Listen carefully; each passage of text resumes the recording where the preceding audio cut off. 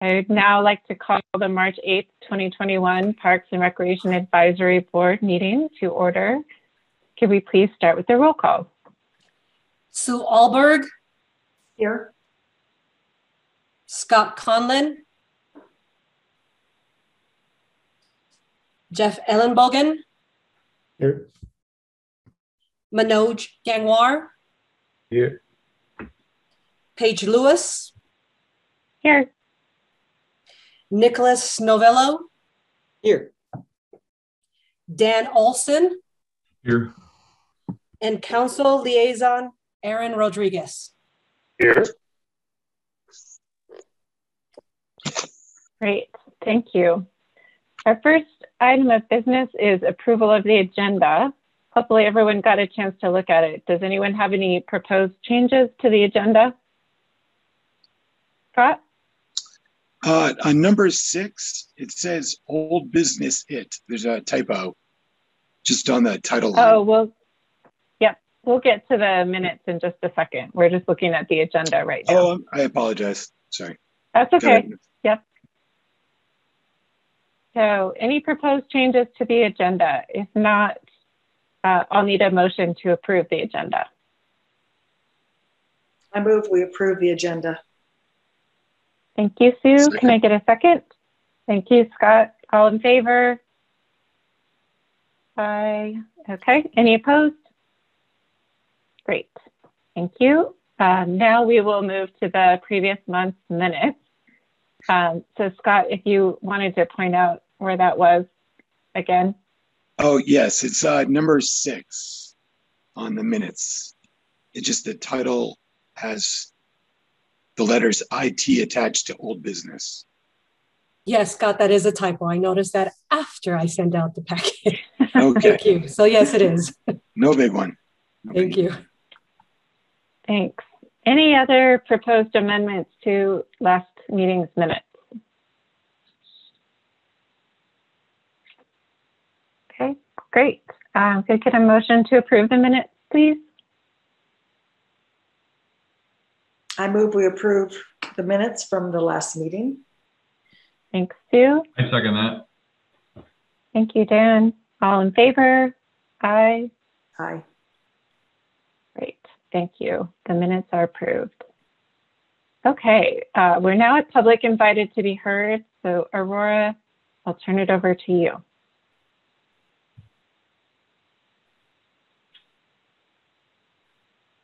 So we do have a member from our public who would like to participate. And I will ask you if you can please state your name and address for the record.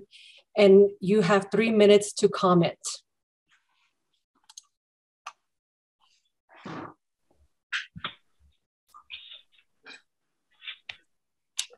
Yeah, howdy, everybody. Um, hope everyone's doing well. Uh, everyone's safe and sound. Thank you so much for uh, giving me the invitation to uh, to join you all. My name is Kaya Belkis. I'm at 2281 Watersong Circle here in lovely Longmont, Colorado. Um, I um, am part of a development group with St. Vrain FC, and just wanted to reach out and say hello to everybody and make the connection to you all that we're out here. Uh, we're doing the best we can with the circumstances, but we are uh, looking forward and looking ahead to a, a really wonderful new year and a, a really wonderful going forward um, program here in Longmont and elsewhere. And just wanted to say hello and that we're looking forward to working with you in the future, hopefully to to identify some opportunities for us to work together and collaborate so that we can continue to bring our many years of um, volunteers and and soccer uh, love uh, to uh, future future uh, kids in Longmont and elsewhere. We just wanted to just say hello and uh, thank you for the opportunity and look forward to working with you all uh, moving forward. So thank you so much for the opportunity. Thank you. Thank you. Um, Aurora, do we have anyone else? We do not at this moment. Okay, great. Thank you. Uh, we will move on to old business. Um, I don't think we had any old business, right? Okay. Uh, so that's easy. We'll move on to new business. And um, hopefully you saw in the packet, a lot of our focus tonight is on the um, impending budget process and particularly thinking about the capital improvement projects. And I just wanted to say thank you for the background information in the packet. I thought that was really helpful. Um, so I'll turn it over to you, Jeff, I think, to kick us off for this one. I think uh, Steve is going to lead us off. Uh, Steve's going to, okay. Yep.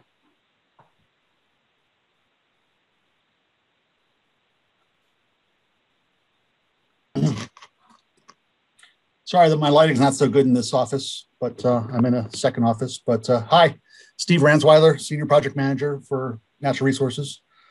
Um, this is always an exciting meeting for me. I love talking about projects we have coming up in the next uh, four or five years. As I think a lot of you know, the Capital Improvement Program is uh, the city's device where we plan for the next five years of capital infrastructure projects.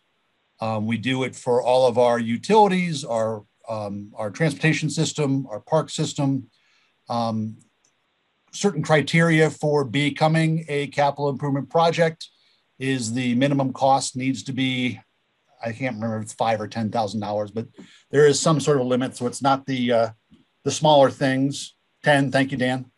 Um, the um,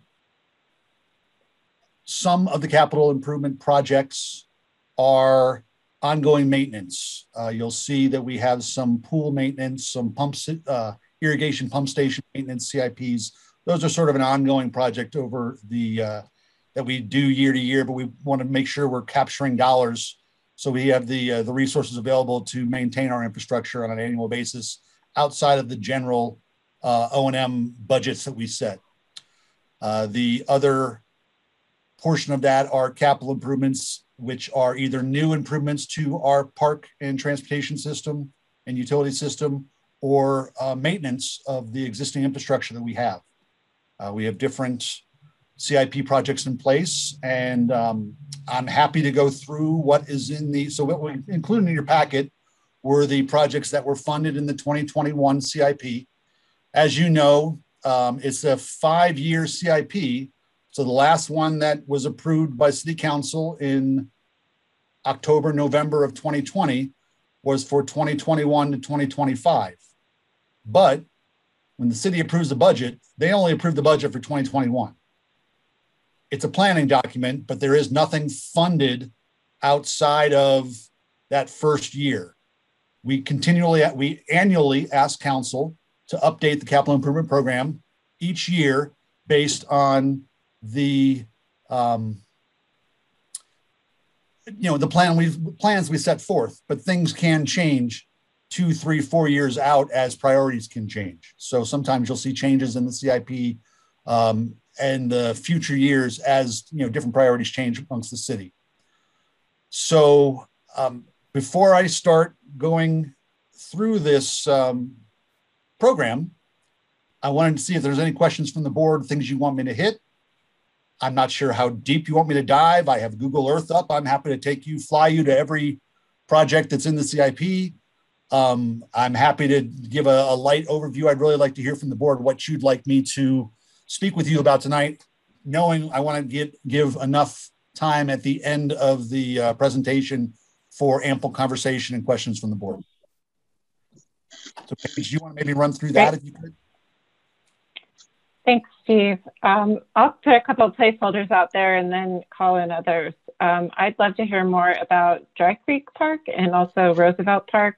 I saw them both mentioned with a variety of projects. So those are a couple areas I'd be interested in. Um, Dan, I saw you had your hand up. Who else? Dan, go ahead. You're on mute, Dan.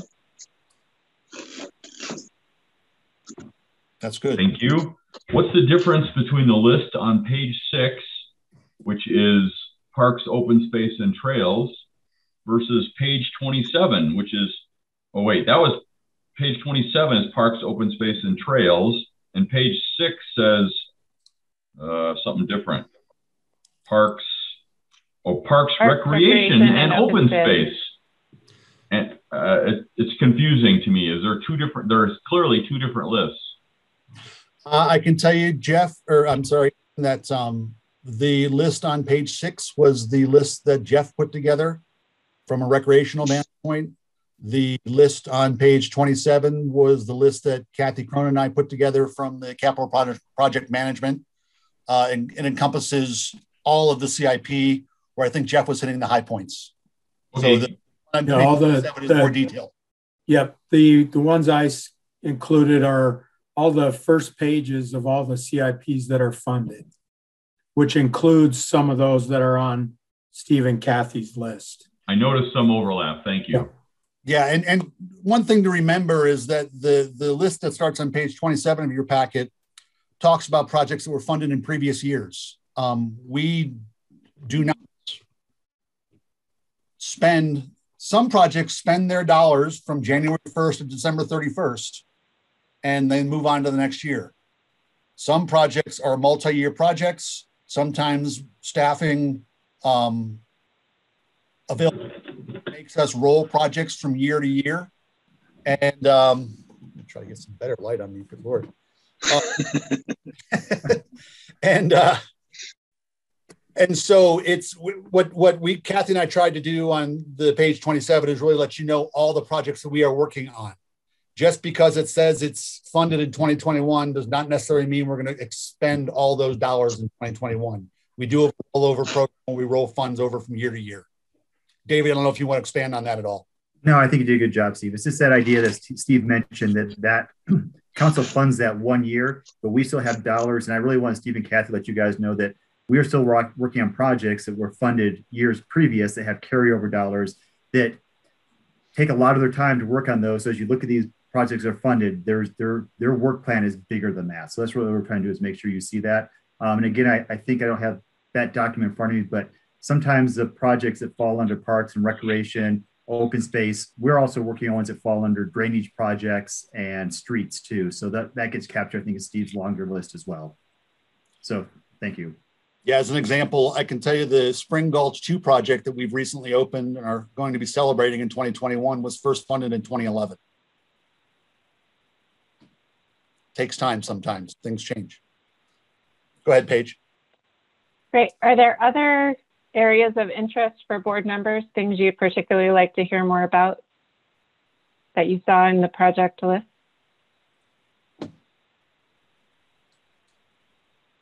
Yeah, Dan, go ahead. I made a list of uh, six different ones that caught my eye, little details, but I don't know if you want to, how we want to go through this. If that's what you're asking. Should I just go through my list?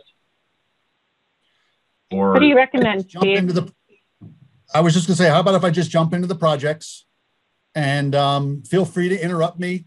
Uh, that includes other staff, Kathy, Jeff, Dave, and I'll try to capture at a high level. If you want more detail about any of these projects, I'm happy to dive into them either at the end or as I'm going through. Does that sound good? Sounds great. Okay, great. Um, first project is a long-term project. That's on page seven of your packet is uh, PRO 05B, St. Vrain Greenway. Uh, you, as you can see in the, it's been first shown in the CIP in 1992. That even ex exceeds my time here. Um, what we're working on right now with that project is the eastern and western extensions of the St. Vrain Greenway. We have funding for the trail extension from Golden Ponds under Airport Road up to Westview Middle School. And um, we are waiting for land acquisition, which shouldn't be as cumbersome as it has been, but it is, has taken me several years to get the land acquired. Um, I'm hoping to have that done in the somewhat near future and start design, get uh, design started this year and build that project next year. That's phase 12 of the St. Vrain Greenway. Phase 13 is the extension from Sandstone Ranch east to St. Vrain State Park. Uh, Danielle Levine is, is uh, the project manager for that at this point, and she is working on, if you remember, we received a $1.5 million grant from CDOT for that project.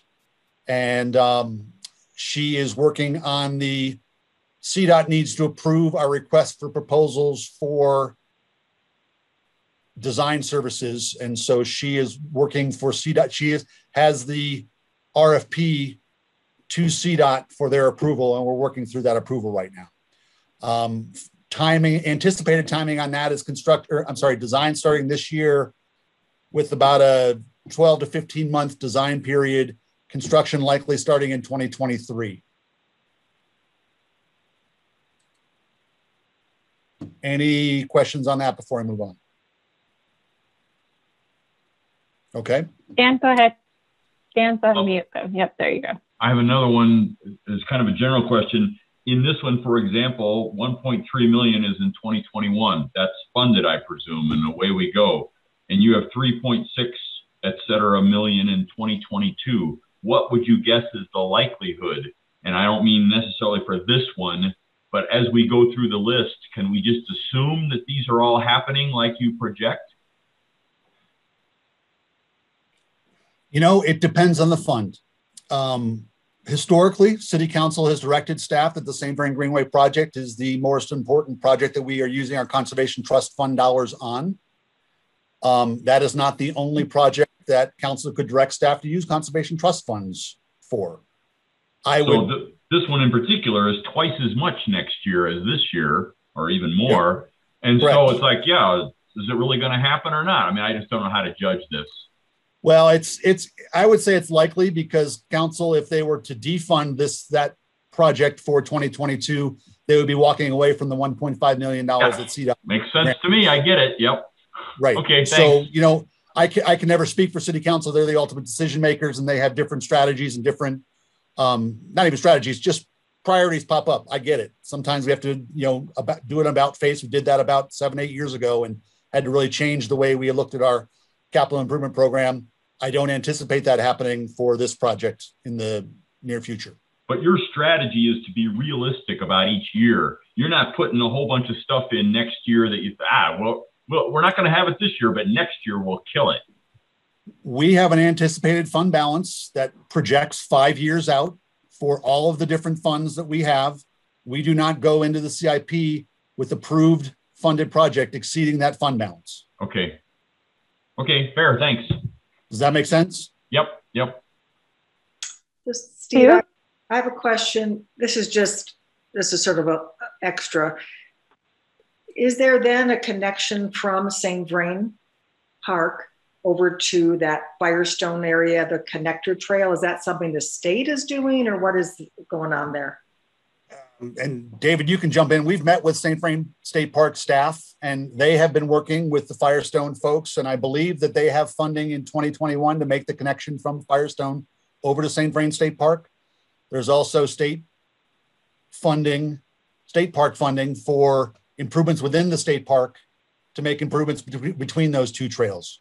You know, city funds wouldn't necessarily go toward connecting over to Firestone, but we are coordinating with the different entities to work toward, you know, this is the Front Range Trail. We're trying to get this from New Mexico to, I'm sorry, down here, New Mexico up to uh, uh, Wyoming. And so we will do everything we can to support other municipalities and other efforts to make trail connections for this Front Range Trail. Okay, thank you. I just wasn't sure. Designing building those.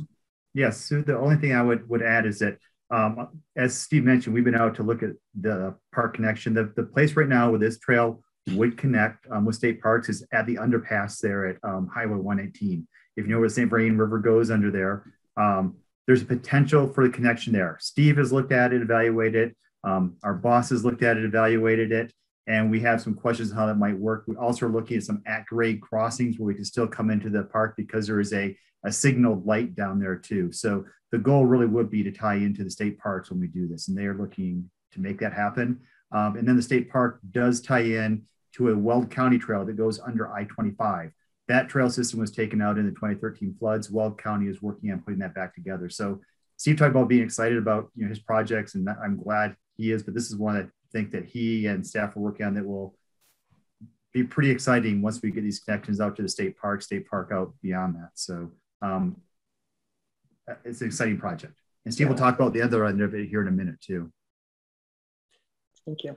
And, and if anybody wants me to bring up Google Earth, um, I can show you where these are. What I would recommend is that we wait until the end of the conversation, then I can go back and show a couple routes because it's going to simplify Aurora sharing screens back and forth. So, but um, just let me know. Uh, the, the next project that we have in our queue is the uh, Sandstone Ranch um, Phase 4. And we currently have that funded for 2022 for design in 2023 uh, for construction. That is for a um, the completion of the master plan that was uh, approved by or adopted by City Council in 1999, I believe.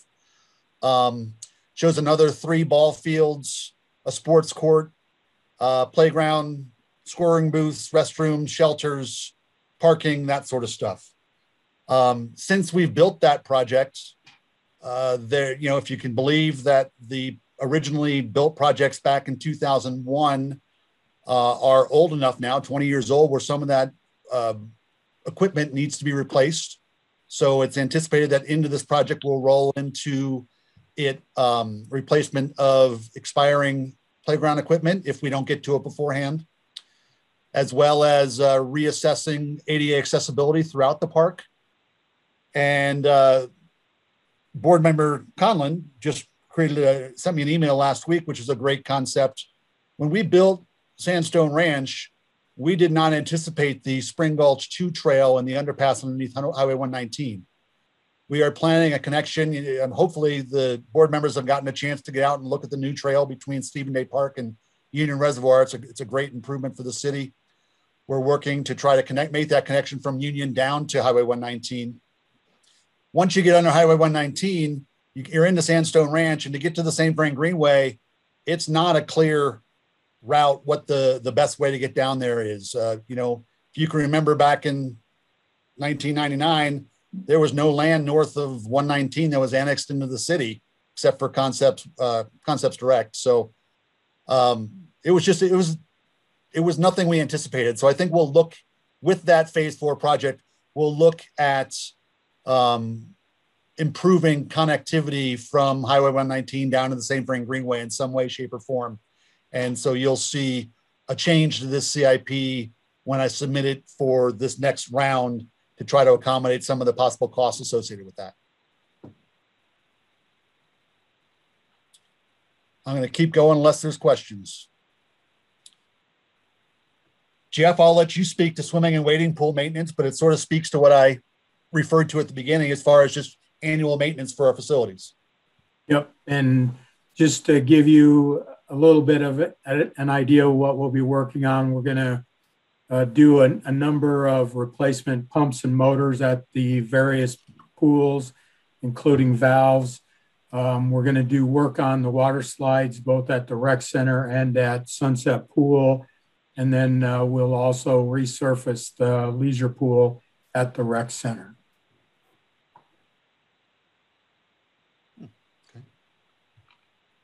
Any questions on that? No question. I don't know if Paige can see my yes, hand. Go ahead. Yeah, I'm no, curious, I can see you will now. those, Thanks. Will maintenance to those slides or anything be noticeable, or is it just upkeep? I mean, will it be something where you're like, oh, it looks physically different? No, it's all upkeep. We have to gel coat them every so many years, otherwise they get too rough and start hurting people when they go down them. Great, thanks.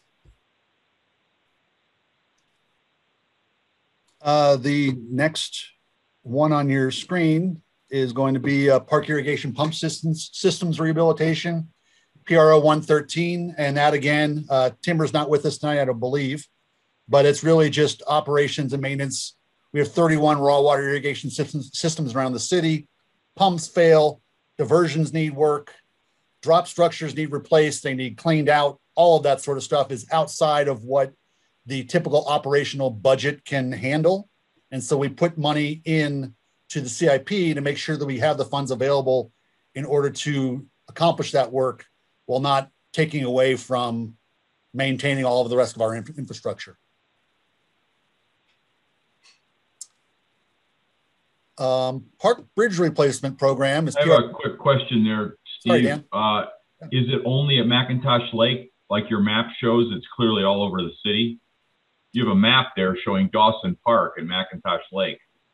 It is all over the city. Yes, I'm Okay. not map uh, snuck through. It should just be various locations. All right. That's what my guess was. Thanks. Yeah. I, I have a quick question, if I can, on that one. Uh, so, is this a common occurrence for us to put in these types of maintenance projects into the capital improvement plan uh, because there's you know uh, a lack of funding for from the uh, from the operation from general operations, or is this something that's a, a one off? It's not a one-off. Um, I don't manage the operations side of it, but it's my understanding that they man they they budget for general maintenance. These are anticipated one-offs, if that makes sense. These are things that they know are going to happen, that they know are going to need maintenance. So they, they they don't always spend this amount of money each year. Sometimes they exceed it if we have things that fail in multiple locations. I think we had a bad year three or four years ago with our pump systems. And so it's just a matter of having money available to be able to react quickly to failures in our systems rather than having to scramble.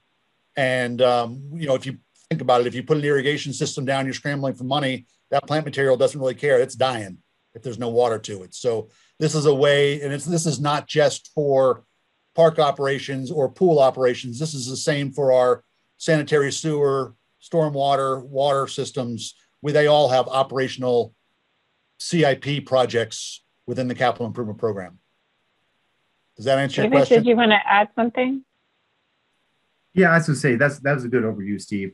It, it is a question. I- It is a great question. It was a great question because we internally had these um, with the city. I know other organizations kind of struggle too. That when you have these sort of like projects that come up in those high dollar pieces that meet that criteria of a CIP, because you know we want to make sure we're not just shifting O and M O and M over to CIP, but I think there's a very conscious decision that is these are very similar projects that come in that that meet all those definitions of the expense that um, there has been that decision over the years through the city to take some of those and bundle them into into CIP projects that we just make sure that for one piece that we like Steve said have those dollars but also we keep them on track that we don't get behind. If they've gotten to the O&M maybe that chance that they could slip back but this actually keeps them on a radar and keeps them moving forward. But it's a great question. It's a question that staff often has about how do you look at like projects and then determine if they're O&M or if they're, if they're CIP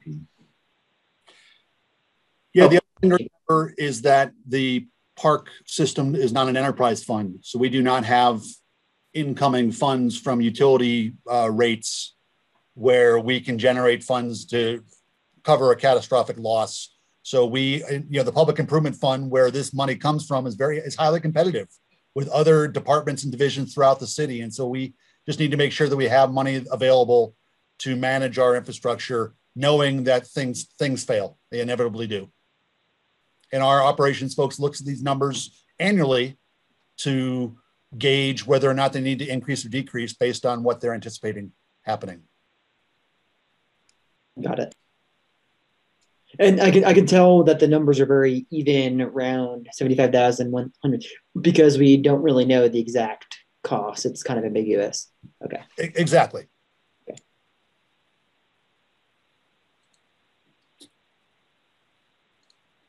Um, I'm going to let Kathy talk about the park bridge replacement program because she's, I think, a little bit more familiar than I am with it. Okay, hi, I'm Kathy Crone. I'm another senior project manager in Parks and Natural Resources. Um, and so PRO 136, the Park Bridge Replacement Program, has been a program for a while now. Um, it's based on uh, some assessments that we did way back in 2012 to, to identify high priority, you know, safety needs, if there's undercutting, um, meeting code. You know, some of our bridges were just re- were installed so long ago. Um, this project, um, what's funded is intended to replace the Garden Acres pedestrian bridge over the Oligarchy. Um, we do have a bridge salvaged from the St. Vrain project that can be used for that bridge. Um, and then the other one that's funded is um, there the uh, gosh, it's um, at the end of Longs Peak Avenue, again over the oligarchy. That one may not need to be a full replacement, but again, there's some it, there's some undercutting, so we might just need to do some structural repairs once we start looking at that one. Um, and then we have some funding further out for for potentially um, we've identified um, the bridge over the former bonus ditch south of Dickens. Um, and so once we get that far, far out, you know, we're not quite sure. We'll take a look. We'll see if it's a high priority. Um, basically, what happened with this one, though, is we did have funding for the two bridges at Garden Acres and Oligarchy prior to COVID. We had carry forward funds. And part of um, the COVID budget reset was just kind of looking at, we, we kind of end up having a lot of carry forward funds piling up. And so we were sort of asked, you know, are you really going to get to this project or can that help us kind of right size our budget, be conservative? So instead of just continuing to carry that money forward, we just re-entered it into the CIP in the years that we thought we could do the work. Um, so we didn't lose the projects, we just kind of right sized it um, in terms of that. The other project I'll mention um, is the Spangler Park Bridge replacement is a project that's on my work plan for this year to be replaced. Um, it's a small pedestrian bridge over Spring Gulch that heads, kind of goes to nowhere right now because there's nothing east of it. But there is a development coming in with, a, with um, townhomes along Baker Street. Um, and that that bridge doesn't meet code. It's got some safety concerns. So now that we see that it's going to be more used, um, that one is funded. But again, you don't see it in the CIP because it's carry forward funding. So that's another bridge that's being worked on. Um, and again, we do have a salvaged bridge. The, the smaller bridge that was at the sundial is going to be used for that one. So it's great that we're able to use some of those bridges from the St. Vrain project. Um, so, and let me know if there's any questions on, on this one.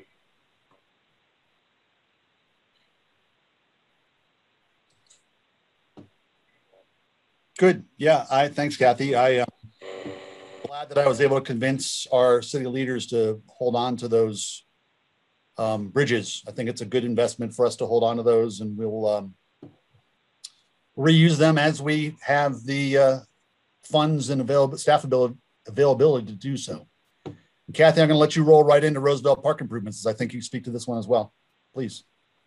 Yeah, so this particular CIP has um, a new idea for Roosevelt Park. There's been a lot of talk for several years now, um, a lot of it coming from the Senior Center and Friends of the Senior Center for an outdoor fitness area at Roosevelt Park. And those can take a lot of different forms. They're getting really creative. Sometimes they're called adult playgrounds and things like that. So that is what you see funded in this CIP. Um, this CIP could also fund in the future. There's, uh, I don't know what phase it is at this point, but the, the Roosevelt Park master plan has not been fully implemented either. That, that, that big storage, open area storage, um, gosh, it's east of the ice pavilion. Um, that goes away, parking gets expanded. So there are some improvements there that aren't completed at Roosevelt Park, but those are not yet funded. We'll continue to kind of look at this CIP when it's time to kind of pursue total completion of the Roosevelt Park master plan. Um, the other things I'll mention at Roosevelt Park though, is with this project with the outdoor fitness, Roosevelt Park We'll talk about park renewal in another CIP, PRO 186. But we do know that the Roosevelt Park Playground is ready for replacement. And so I really do hope to kind of jive those two projects, the, the outdoor fitness with the playground replacement. Um, then we could kind of look at those together and see what works. So we're looking at that further out. Um, and then I do think that the um, the concrete for the pavilion is also in this CIP. So in terms of Roosevelt Park, there's kind of three CIPs working together for improvements at Roosevelt right now. There is a separate CIP for the concrete at the pavilion. Yep. That was one of my questions. It looked like it was TBD, if I remember. Um, do you think that that work will be funded and done this year? Well, it's funded. Uh, we are not sure who's going to do it yet. We have to have that conversation with all of our different staff members to figure out who's going to handle that. Um, hasn't yet And been. in, yeah, engineering had indicated they were going to take the lead in it.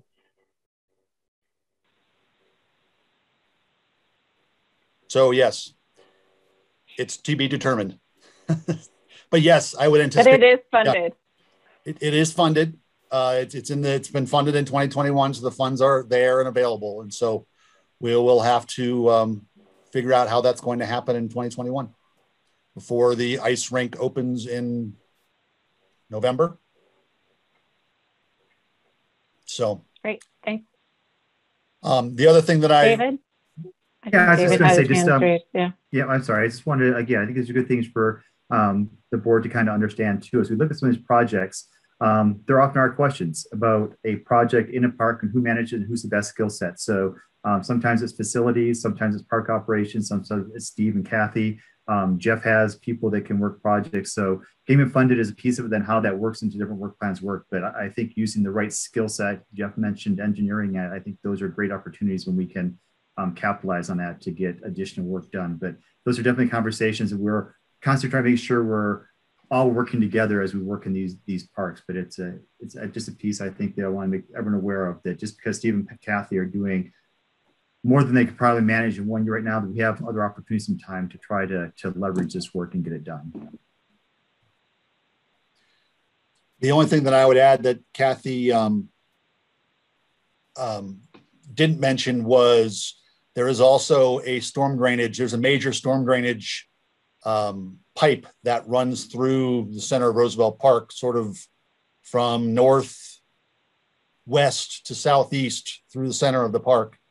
That storm, that pipe does need some maintenance over the next four or five years. And so there's a storm drainage project that is pushing funding for um, that work in the park. And so you might see some disturbance, well, you will see some disturbance to the park at some point in the future based on that project. And we're coordinating with engineering on that as well.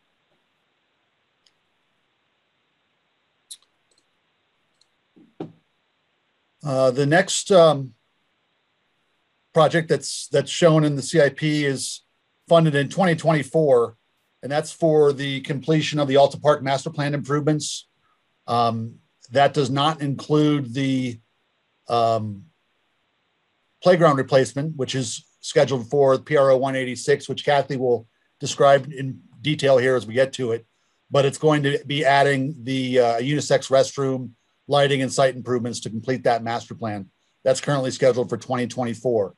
Getting back to how I opened the um, opened the presentation.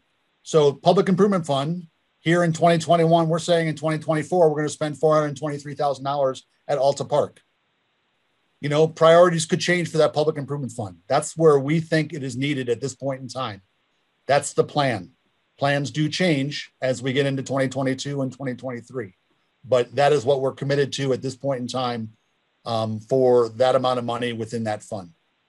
Does that make sense? Yeah, and Steve, I would just add that, you know, a lot of these projects, we have a lot, we have um, master plans that were done with community and neighborhood resources. And some of these older parks, we they didn't have master plans when they were first installed. And so back in this era of 2010 and a little earlier, um, there was a lot of work done with park development um, combined with community and neighborhood resources to look at how can we revitalize neighborhoods. And a lot of times they looked at their parks. Um, so Kensington Park, this park, some of these other parks, master plans were created with a lot of neighborhood involvement. And, you know, in terms of funding, we had to fund them in phases. And so we just have these phases of these master plans that aren't quite complete and we want to make them whole. So we try to look for places in the CIP and time in our work plan to, to go back and, and really complete those master plans. So that's one of our, our goals in the CIP is to try to do that. And this is this represents one of those. Yeah, you really want to reward the community input that we received during that um, that whole process, and you don't want it to wait too long. Um, page you mentioned, Dry Creek Community Park, Community Park. Gosh, I think that master plan was adopted in 2008, seven or eight. So it's been almost 13 years and we've done one phase. And so do we need to relook at what the community needs in that area of town before we move forward with that, um, implementing the, the rest of that master plan? And that's something that we're always asking ourselves. Um, how long is too long versus how long, how much money do you want to spend to reinvent what you've already had accepted? So that's what we're, we're trying to figure out as we move forward with some of these things. I don't think, I think Alta Park's always going to want a restroom. So I am not concerned about that, but some of the uses in Dry Creek Community Park may have changed and or, or, proposed uses, I should say.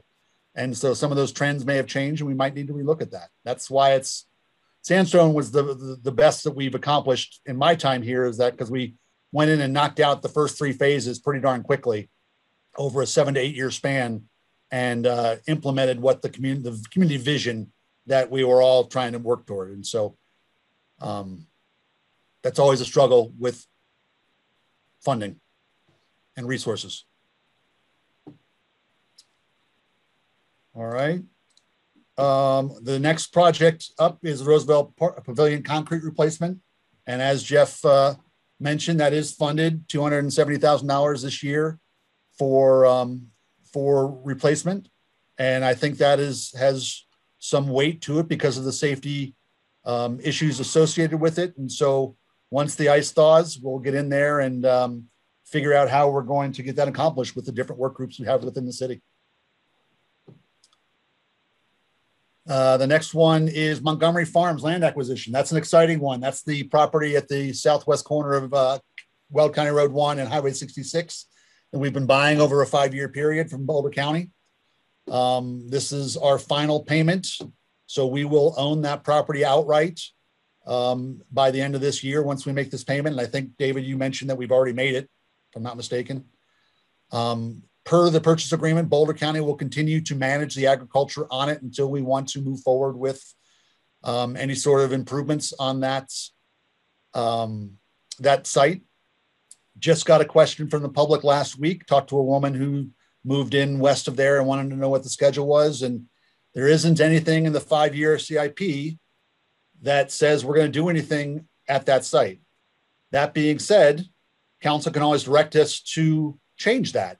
If you remember when we did the pool and ice facility um, ballot initiative, one of the sites that we were considering was Montgomery Farm. Well, we weren't, we're, we were not going to just throw an ice facility in the middle of the park. We were going to do master planning for that whole park site if that were funded and we were that was the site that was selected. So you can see how we would just have to change our approach to that site if council, the public were to direct us to put some sort of facility there that we're not currently anticipating. But right now, we don't have anything in the five-year CIP to do any sort of master planning or uh, design development for that site.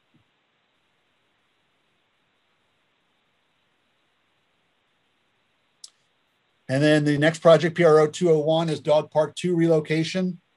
Uh, that is the dog park that is on the south side of St. Vrain Road, east of, I'm sorry, west of Airport Road, west of the Public Works uh, maintenance facility. That facility does need to expand, though it's my understanding from talking with our Public Works folks that that need may have been reduced in the past couple years.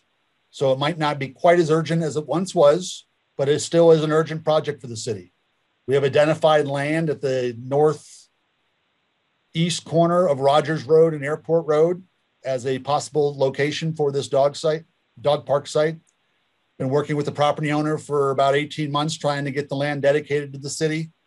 Um, I got an email from their lawyer a week or two ago saying he's still working on it. So hopefully that will come to fruition. If that's the case, we're looking to do some design and construction there. Now, we can design all we want, but if we don't own the land, it doesn't do much uh, doesn't do much good. So we really probably need to acquire that land before we move forward with the dollars that are funded in 2021 for design and construction in 22.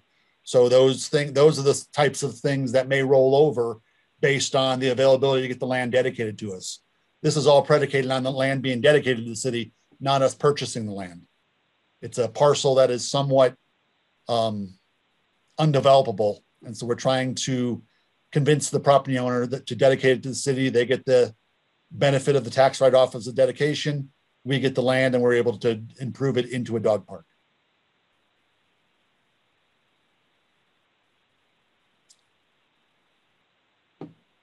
The next project that's on the list is PRO 083. Uh, it's a partially funded project, primary and secondary greenway connections. Um, this is a project where we've been working on it. Well, I've been working on it since I've been here and trying to. This is a project not only for the construction of new greenway connections, but also for maintenance of our existing greenway system where the infrastructure may be failing us, failing the, the public. And so we had a great meeting with a bunch of different uh, transportation, engineering, and uh, park staff a week or so ago. We're going to be continuing to try to set up staff um, teams to try to prioritize which projects we should be moving forward with. I'm not sure if uh, sure if Scott shared with you. He shared with uh, staff anyway a bicycle Longmont um, survey that was asking about recreational and commuting transportation improvements that the city should pursue in the CIP. It was good information, and it was nice to hear that this was uh, designated by that group, the 137 responses, as the most important capital project for that type of um, infrastructure, the off-street infrastructure. We uh, we do have the Dry Creek Trail connection from the Sam's Club Village, Village at the Twin Peaks east to Sunset Street. That is funded for design this year, and we're going to be rolling that design into the design of the Sunset Street Diet and the Ken Pratt Boulevard Sunset Street uh, intersection improvements, where we received a CDOT grant for um, design and construction there. We're anticipating construction of that trail connection in 2023, hopefully. Beyond that, we have some ideas about great trail connections that we could be making. We also have some identified trail systems um, that are failing. If you ride the Rough and Ready Greenway between just south of Skyline, mm-hmm. between uh, Mountain View and Pace Street, that trail has been in need of repair for five years. Uh, we really need to look at our existing infrastructure and see how we want to spend our limited resources, limited dollars, and decide how we want to move forward with this program as far as expanding our trail system as well as maintaining what we already have. I'm expecting questions on that one, so I'm going to pause for a second. Yeah, Dan, go ahead. Uh, yeah, so you just said we need to decide who's the we here. Is that we, this group, we, you guys, staff, city council? How do you get input? Scott's bike folks, you know, how do we start? It's and a by the question. way, I really like the one the south of Skyline High School. Every year for the uh, triathlon, it's we all stumble on that stupid path. That's awful. yeah, yeah, yeah, yeah. No, it's great. Um, you know, and, and that's a great question. Ultimately, city council makes the decision. So individually, each path is decided by city council. No. Oh. No. Council funds this project. Now, councils would certainly have the option of saying, we direct you to move forward with ABC. Right. Now, this is just, this is a budget and staff puts together the priorities based on community input, based on staff input, based on staff availability, based on whether we have the $700,000 to build this new trail or we have $300,000 to replace this trail, you know, funding availability. We, we try to strategize the funding we have avail- available to maximize the use of those dollars while keeping our system safe and usable. So do you have a on? It's a dance. Do you have a, a list now that we could look at, or you'll show us in seven months, or? Not seven months, but yes, that is one of the tasks that came out of that meeting last week is to put together a staff group to try to figure out what you know what we want to do. How how do we want to move? Okay. Forward? What what is the the best way to move forward? And I anticipate that list coming to PRAB and TAB I think Bicycle Longmont's input was valuable and continues to be valuable. There's no great rhyme or reason. If I live in Southwest Longmont, I could think that some trail connection underneath 75th is the Right. most important city. If I live in Northeast Longmont, the Oligarchy Ditch is the most important trail. If I live by Right. high school, replacement of that trail, you it's you can't just listen to the public. You have to look at the system as a whole, try to make the best decisions that we can. City council always has the opportunity to give direction. And so I would say if if if there is a particular segment that um, the public or the board is looking to get either replaced or built, using your ability to speak with council as a board member, as a board as a whole, or as a citizen is the best way to go about that. We certainly take that in that input as city staff, but we're juggling a lot of different thoughts from a lot of different people, a lot of different vantage points. So it's never a clear science as far as this, you know, I came up with a, a, a, evaluation criteria a number of years ago, and as we got into it, it my criteria failed.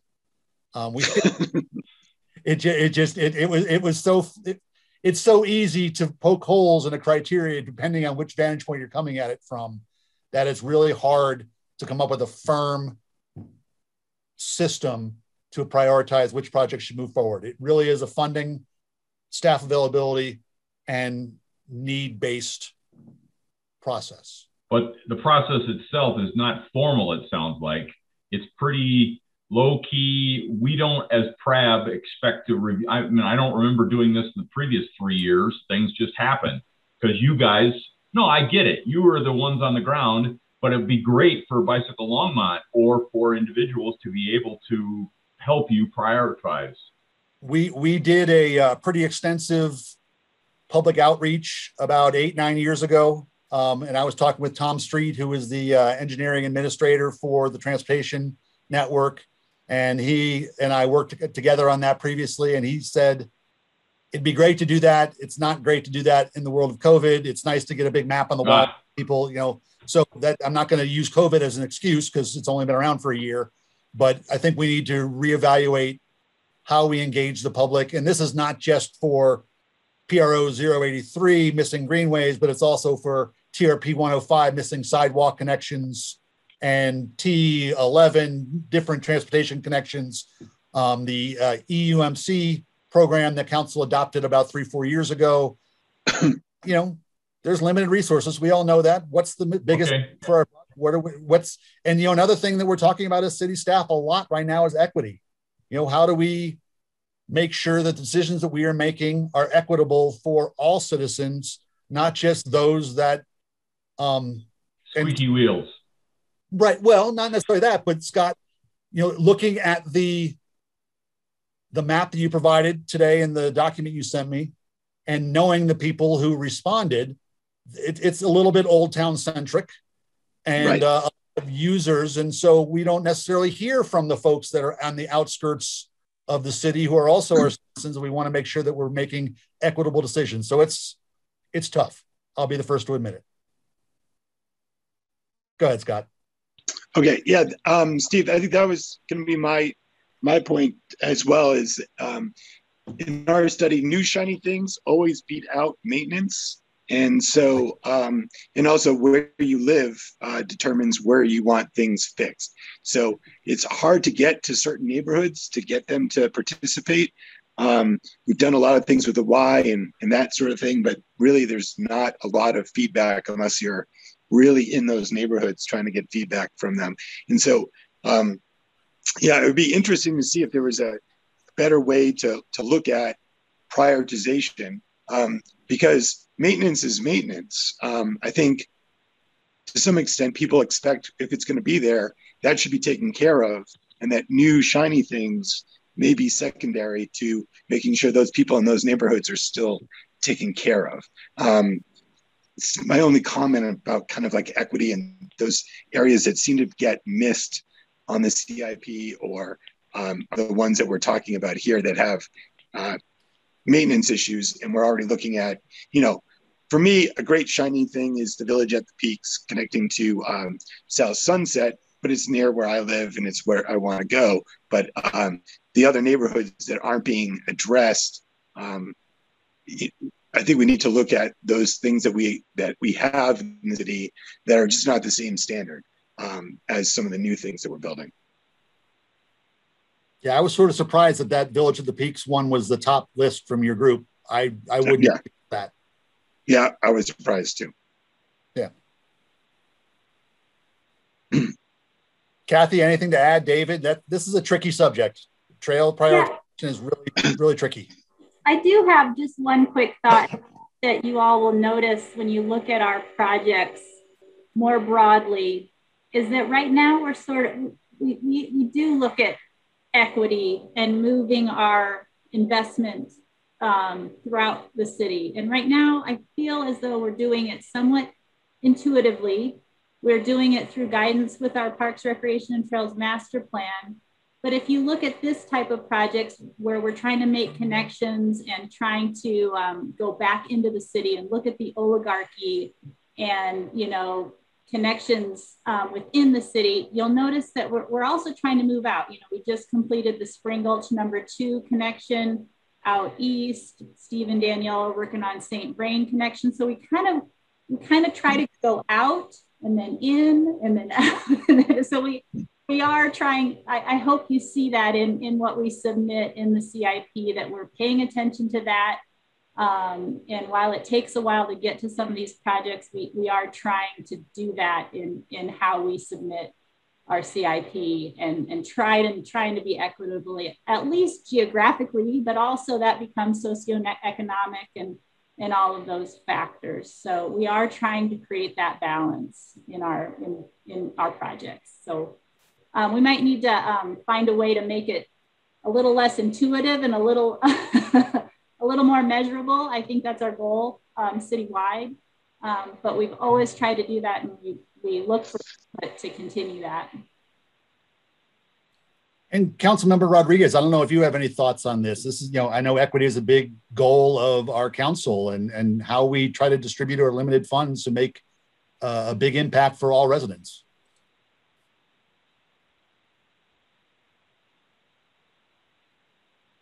Uh, I don't I don't know how many people can see me because this is still uh, set to apparently the shared screen. Anyway, uh, just a couple thoughts, real quick, in the sense that, you know, uh, I think we start going through budgetary uh, conversations probably around August, um, as far as timelines are concerned, and that if the body, the PRAB body, or individual members of PRAB would like to make their their uh, preferences known, that's probably a better time to make them than say now, when we're still months out from actually talking about the the budget outside of that, you know, I also had another thought based on the conversation I was just hearing, in that, you know, I find that generally speaking, a lot of the more affluent neighborhoods have future parks, as I call them. Uh, they're undeveloped park lands. Uh, and so seeing how uh, refreshes and, and, some redesigns of parks are actually going into probably parks that I would say are more equitable in that concept. Um, and then as far as general, like, let's say bicycle Longmont, um, which I just got that email today as well. Uh, those kinds of, of, suggestions, again, I would suggest that they be resent closer to uh, budget conversations that the city council has to, to say. And that's just my opinion from the council side of the, the, the, the conversation because I, I, don't think I've heard anything that I would disagree with as far as what the staff has said tonight. Um, and I don't think we necessarily, uh, unless prompted by either a border commission or by a good number of, of, of residents, would look at certain CIPs above one or another outside of just trying to see what our general budget constraints are um, based on this. And so those are my thoughts on it at this time. Um, I'm I'm sure that you know I don't know if there's any questions about that, but it's it's hard to say because at the end of the day I'm I'm one of seven, and so those are just kind of I guess my general read on it, as well as I, I can't necessarily uh, provide you with a general consensus from the other council members until we're further down those conversations. Jeff, did you want to add something? Yeah, I just wanted to mention, looking at our calendar for the year, we have a comprehensive trail system on our agenda for June. So that might be a great time to lead us into what uh, Aren was just saying for August and, and feedback to council. Thanks. That sounds great, Jeff. Yeah, I appreciate that. And, you know, yes, didn't mean to put you on the spot there, Aren, but um, I think you speak to the general consensus of the council as far as the need for spreading the wealth. Uh, the next project in your packet is Dry Creek Community Park, which is a funded, um, community, partially funded project.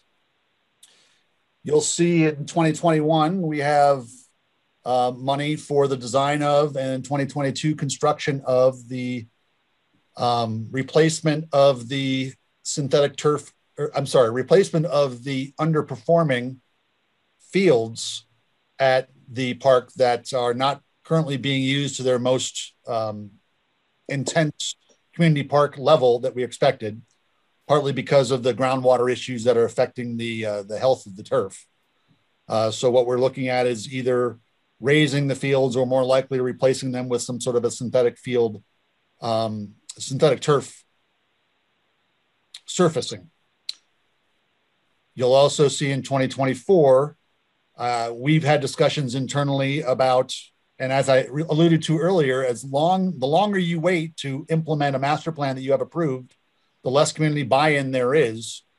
Um, so we have potentially funded in 2024 uh, the design of the balance of the community park, and then partial funding in 2025 for implementation of the balance of that park. So one of the things that and i mentioned before that maybe we before we move forward with that later project we need to relook at what is actually in that park and how the community has surrounded has evolved around that park. Trends change. Maybe we need to be doing some sort of public process to relook at what we include in that park within the budget that we have set. And so you know one example that i'll give is that that sledding hill. Everyone loves the sledding hill. Everyone loves the uh, the the BMX or the biking hill that's there. That hill was only there as a placeholder. We just didn't want to spend the money to move that hill across the park to the western side of the park where it's supposed to be. That's where the sledding hill for the master plan is supposed to be. Um, people have um, created a sort of a cycle track or BMX area on the western part of the park because it's not being used by anything there are other master planned um, facilities planned for that area. Do we need to relook at the master plan and maybe there's a higher and better use? I don't I don't have the answer to that, but that's something that we need to be asking ourselves as a city, as staff, as a board, and figuring out how we move forward with that as we try to implement this master plan in uh, in 2024 this would not be the first or last master plan that will be updated within the city. That happens all the time. Paige, did you? That was part of my question. Yeah, because I mean, I've lived here for about 11, 10 years.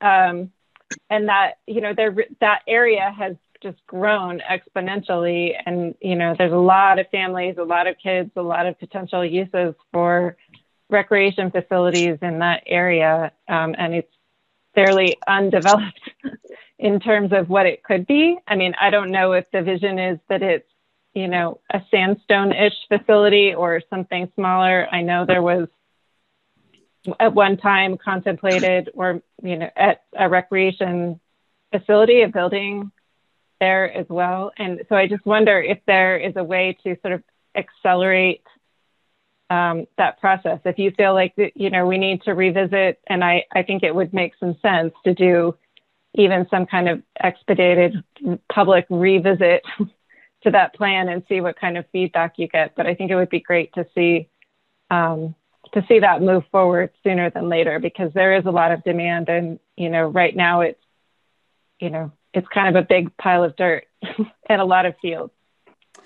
I, I, I appreciate that. Um, I think our most urgent need is try to get those fields to the point where they can be used and heavily used to um, support the infrastructure we built around them, the parking and the restroom and all the other sort of stuff. Um, the rec center there is a very logical thing, but that is something that's not going to be approved by. It's it's going to have to come through a ballot initiative. It's going to have to come through the efforts and uh, and our staff worked on several years ago, and try to get the public to buy off on building some sort of a recreational facility there because it's going to be in the 20 to 30 million dollar range. That's outside of our capital typical capital budget. Other amenities that are in the master plan for that park are another outdoor recreational pool just east of the I'm sorry just west of the possible recreation facility that would help t- relieve some of the uh, impact on Sunset Pool. Uh, Sunset Pool was built in 63, 4, 5. Jeff, correct me somewhere in there. And 64. Four, yeah. So that's that's it's it's I wouldn't say it served its purpose, but it's certainly up there as far as its use. And so we certainly have as a town of in 64, we were at 45,000 people. Now we're at 100,000 people. We probably need another outdoor um, pool facility. That was the location we selected for that. Um, east of there, there were uh, two or three ball fields there were out, outdoor handball courts. There was a maintenance facility. There was a sled hill. There was a, a, a um, interactive water area. I think with a decade's worth of reflection, we could probably look at that and improve that. Um, based again, based on trends, based on development around that area. With the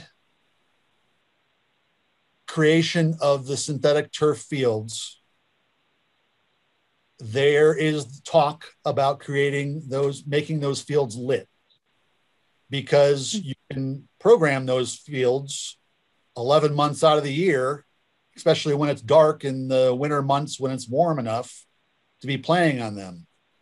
I feel as though there needs to be some sort of a public process around that just to notify the public that that's what we're thinking. Because although community parks and on every document that uh, the, the plats and development plans for those houses, it does say that community parks typically have lit ball fields. We would want to make sure the public understands what we're trying to do. And the, the lighting technology has come a long way since I think people think. And so the cutoff technology is there where it's not going to adversely impact um, not only the neighboring homes, but also the wildlife along the Dry Creek corridor. I'm confident we can we can uh, overcome that. That being said, that might be a lead in to talk to the public about what they might want to see at this park that's different from the master plan that has already been adopted by city council back in 2007 or 8.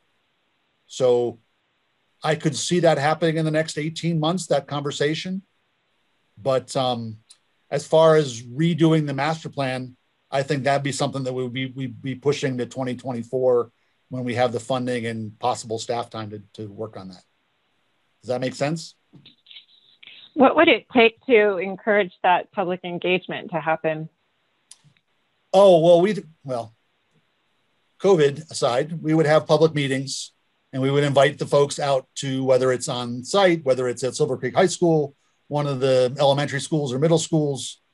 Um, we would. But I mean, do you need, is there anything we can do to make that happen, like encourage the city to think about doing that on a faster time frame is my question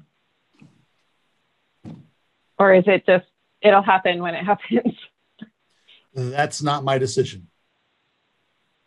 Um, david i'll pass that to you. Still with us? Yeah it's still here. So so paige i think recommendations from this board definitely help.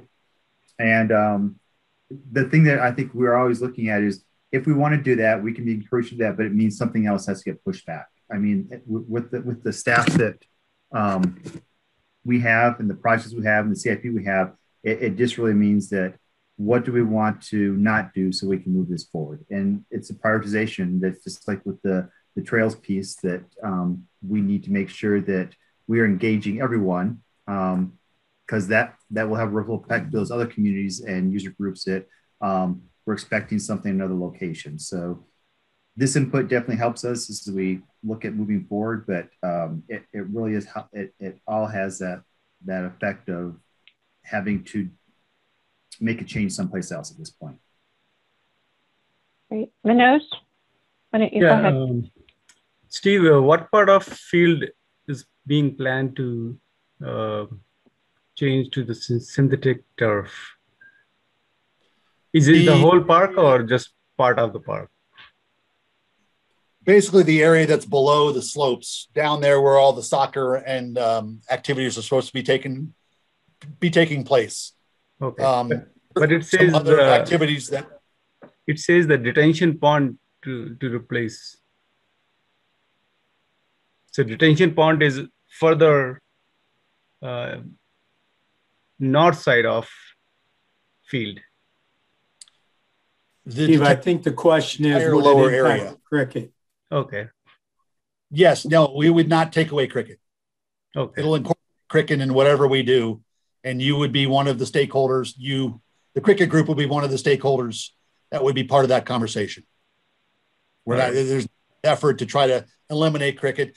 Tell me, can cricket happen on synthetic turf? Yes, it can. Yes. Okay.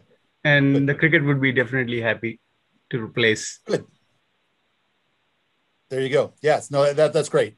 Yeah. There's no intent to change um, the potential uses. It's just trying to make it usable, more usable for bigger user groups because our community parks are designed and built and funded to be active, intensive recreation areas.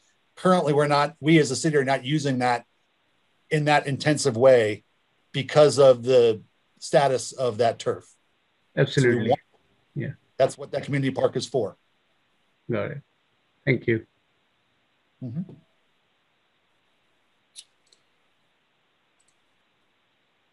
Let's see. The next, hey, look at that. Next project is PRO 186. I'm going to let Kathy speak for a while and take a rest. well, this project is the kind of what I call the park renewal program, um, park infrastructure rehabilitation and replacement. And, and this uh, this CIP is is one of those um, in ongoing programs for rehabbing our parks and you know, it's been in place for a long time. It really got a boost when we passed the Park and Greenway maintenance fee um, back in 2014, I think. So it got a lot more funding and it was supported by the Parks, Recreation and Trails Master Plan to take care of what we have. Um, so we've done a lot with this CIP. Um, right now, um, this year, um, Park upgrades is under construction right now. Um, and that is replacing the restroom shelter pump building. There's a big hole out there right now. If you've been by. um, but uh, that's under construction. But it also upgraded the, the ball field that's out there. That is um, done and ready for play this summer. Um, it also upgraded uh, ADA improvements. Hopefully, when this project is done, it'll be fully ADA compliant. So there's, you know, sidewalk improvements, improvements to get into the tennis court and basketball court, um, and things like that. The playground um, was replaced back in 2016. So that's not a part of this current project, but that was done. So um, that's underway. Also this year, funding is gonna do the Loomiller Park renewal. Um, that's, um, the design is almost complete. I hope to get that bid soon and have that under construction this summer. Um, and then um, this project also, we talked about the bridge, um, this uh, at Spangler Park.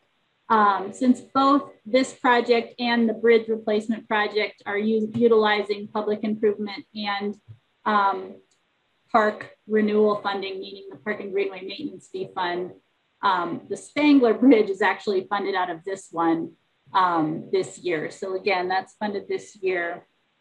And then upcoming projects, um, we kind of look at, we prioritize annually. And I get together with staff, um, primarily parks maintenance staff, to really kind of relook at it every year and make sure that um, we're hitting the highest need things because sometimes it can be a whole park renewal project like Garden Acres was a big one out of this. Um, and then sometimes it's just, gee, we need to redo the, the fencing or a playground or, or something really specific in a project. But real quick, um, some of the upcoming needs, and I don't have them in specific years yet, I apologize, but the high priorities that we see right now include Hover Park. Um, again, Steve mentioned the Sandstone Ranch playground, just the pieces that have had to be removed um, because of wear and tear.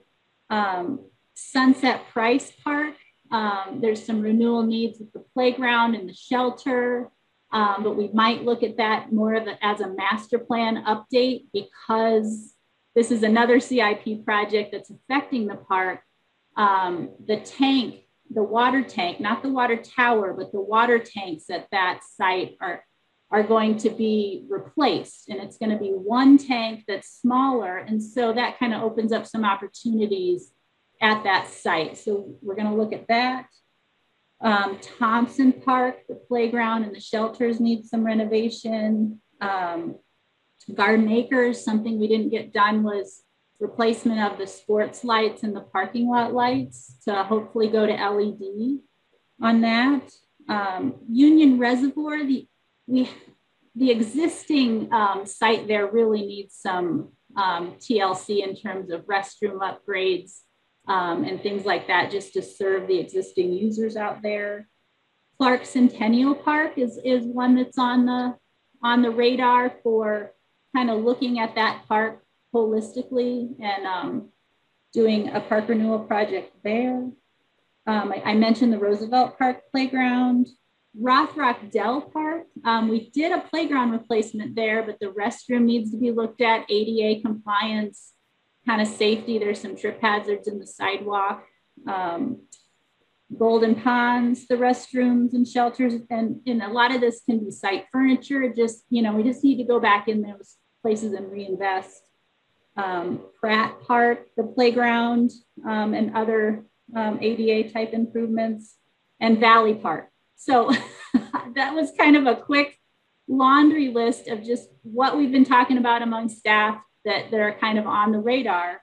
But again, we just kind of look at it every year. Sometimes we have to go back out and revisit these sites to go, okay, which is the most need? And again, we, we try to focus on safety, ADA compliance, and, and just anything that, gosh, if we don't get in there and fix this, we might have to decommission it. you know, um, we're trying to stay. And over the years, I really feel like we've gotten over this hump where we're able to keep up. We did a lot of catching up over, I, I would say over the last eight years or so, we've been trying to catch up. Um, and now I feel like we're in a position where we are sort of keeping up. Um, so that's that project. If there's any questions.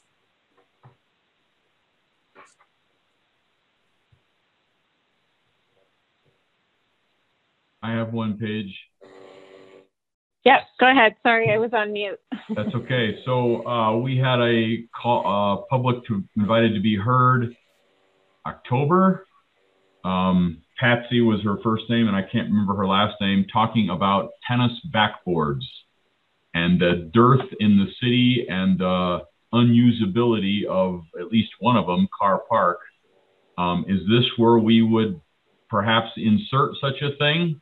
Uh, replace the one at Carr Park, add one somewhere? Uh, I just, you know, I'm looking through the list and I don't know how you get an individual item in, but when we, when she spoke, our response was the CIP process and trying to get this going.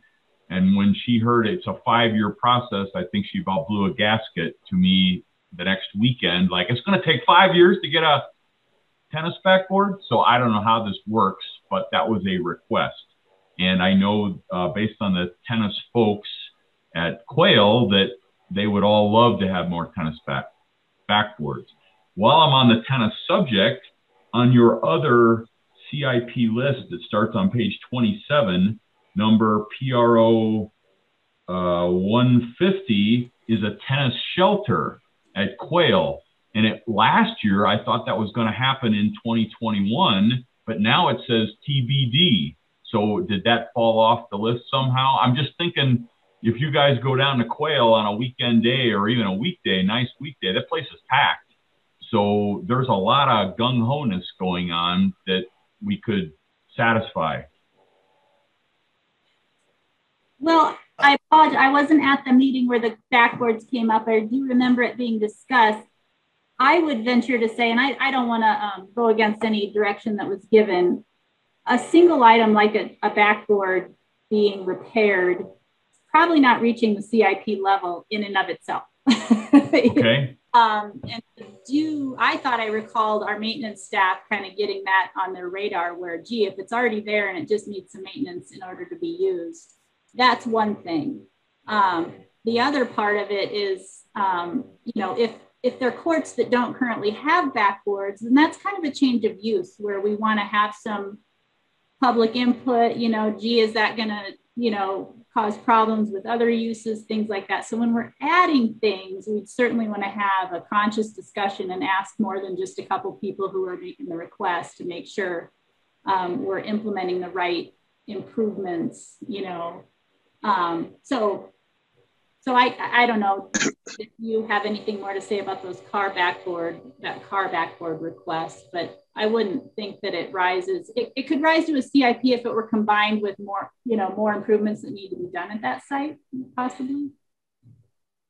Well, the site at Carr has individual one by six boards that run vertically. They are all warped.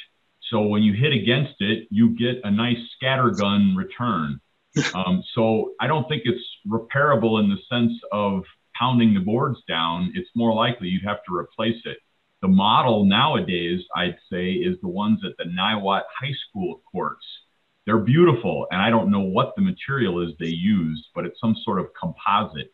So I have no clue what such a thing costs. But I think Patsy's comment and folks that I see in the tennis community is that we need more of them in the city.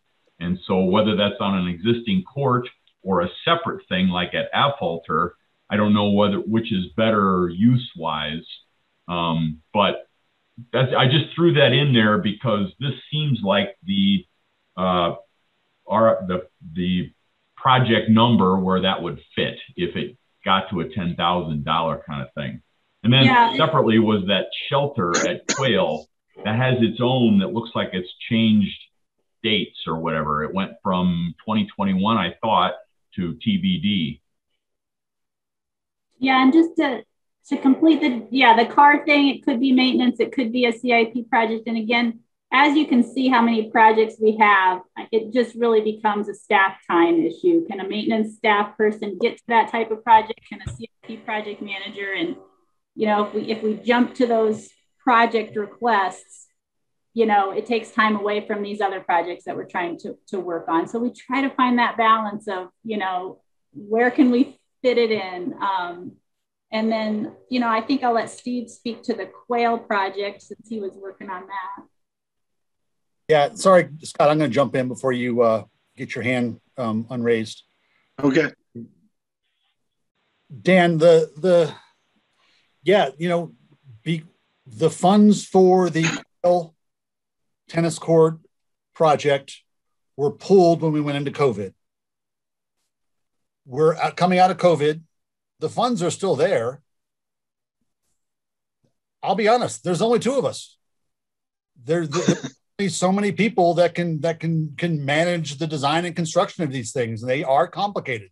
They do take, you know, where that shelter is going to go. There's a subsurface irrigation system that would need to be reworked and um, yeah, we have the the funding for it. We are trying to prioritize the projects as best we can mm-hmm. with the resources. When I say resources, I mean staff. I, I, I separate funding and resources. Funding is money. Resources is staff, and there's only so many uh, things that we can be working on at the same time, and sometimes things take a lot more of our time than we expected. Resilient St. Vrain Project is a great example where uh, I've been involved and Danielle's been involved a lot in that project because it's really important and it's the biggest capital project we have going on within the city right now. And so we are trying to prioritize how much effort we make toward um, improving our park infrastructure as much as we can. The one thing I would say as far as tennis is that for the tennis community within Longmont, we did just in the past three, four years build a 10 court USTA complex for the tennis community that we spent two and a half, three million dollars on that um, took a lot of staff time and funds and things. And so I understand the need for backboards. Um, I think we can look into any sort of maintenance that we want to do at Carr. I was laughing at myself because I was thinking that might just might just make you a better tennis player if the ball comes back to you with a funny bounce. well, I it wasn't a, a, criticism at all, Steve, and that's fine. I just want to be able to give feedback. Uh, I appreciate so, it. No, I hey, appreciate the money's it. there. It's on the list. That's what I'll tell folks, and it'll happen. How soon is TBD. So we'll see what happens. That's fine. Thanks. And you you you can't imagine how many requests we get from the community on awesome projects. We would love to yeah yeah i get it. Phil, whether it's pickleball whether it's tennis whether it's bike skills whether it's bmx whether it's inline hockey you know all these different things are there is not a thing that people are suggesting that is wrong. It's just there's only so many things we can do. And as david alluded to when we make a decision to move forward on one thing we are pulling resources and funds away from another thing okay It was more of an info thing. I didn't mean to push. Sorry. No, no, you're fine. You're, you're fine. I, I didn't take it. It's good to hear. Go ahead, David. Yeah, and I just want to reiterate, Dan, that it's not pushing at all. It really is a stories that we have to do a better job telling because, um, and it's not just the community; it, it's internally. Jeff has great ideas, and Senior Center has great ideas, and like, well, we'll bring the dollars, and we'll we'll help get contract, and all those things have those those pieces that Steve and Kathy be involved with the how it fits in the overall park, and then we have an asset that Timber has to manage. So uh, it sounds very bureaucratic and sometimes it feels that way, but um, it really comes down to just the people I have during these projects and how we do a better job of saying we'd love to do that. Um, even when people bring the dollars to say we will help you with that, it really means that Steve or Kathy have to leave another project to come over and do that. It's, it's a piece of I've been struggling with them and internally um, as well because other like I say other work groups have the exact same request of us. So not a bad. It's a great question, Dan and one that, like you say, if you're trying to get information back, um, if you can help us share that message that it, that to be determined is as fast as we can get some stuff done, we're going to move on to the next one. And we even talked about how we could prioritize some of those smaller ones to see if we could bring in other resources to help. Because Steve, when Steve said resources, he meant dollars. But I'm looking at are there other people like Jeff is bringing engineering to do one of his? Are there things we can do um, to see if we can try to get some of those one-offs that um, are a great idea but we just don't have the staffing to deal with right now. So again, I appreciate the question, Dan, and I, hope that really doesn't feel yeah, like we're fine. pushing back Great. either. Thank you. Thanks. All right, Scott. Um, just to, to get to uh, backboards, I, have talked to Timber in the last couple of weeks about the backboards, uh, Dan, and um, they're either ordered or in the process of being ordered. So hey. it was it was going to be a project for some scouts, and he said it's so easy to do that that staff is just going to do it. So the scouts are going to take care of the Affolter Park, um, uh, like board there, the big sixty foot you know backboard there, but a lot of those other wooden ones are becoming um, composite, and I guess there are going to be new ones added to it. So I think that's what you could. I hadn't heard that. Cool. Thank you. Thanks. thank you, Scott. And that's what I don't want to step out in front of Timber because uh, he did have a scout project working on the one. I know that, and I yep. just saw the email the other day. So Scott, thanks for confirming that. Um, and that's what a place, Dan, that you know Steve and Kathy talk about. Some of these other ones that um, we can take down to that O and M level and say this really isn't a CIP project but Steve and Kathy will remind me they sometimes they'll, they need someone to manage that project still. I mean, you need a contract, you need to watch the kids. How does that really work in? And how can we use that's why I started talking about those other resources, using Timber and his staff to potentially manage some of those other other projects, using engineering to manage some of those other projects. So we're, we're trying to be as creative as possible. Thank I you, love, Scott. The, I love that Scott is a cycling advocate and a tennis savant. Um, and I also love to bring up Niwot High School, the state champs as far as their facilities. They're supposed to have good facilities. They're the state champs.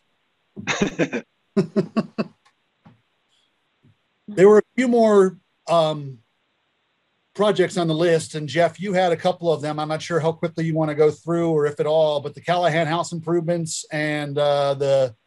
Yep, and commu- the community services uh, specialized equipment. Callahan House, these and these two are they fall under the category of maintenance. Callahan House uh, became a part of recreation uh, a few years ago. We need to do work on uh, concrete in the driveway, and uh, the other two are tied to replacing windows and fixing the curved leaded window. Uh, if you could go to the next one, Aurora. So this one is really a community services wide uh, CIP, which includes not only recreation, but the library, museum, senior services. And uh, we have 511,000 plus dollars this year. Of that, 421,000 of that is for recreation uh, equipment. And what we found over the years was that we were never able to replace our equipment in a way that would uh, keep people coming back to our facilities. Without replacing some of these recreation things it would have an impact on our cost recovery during normal times not not necessarily right now.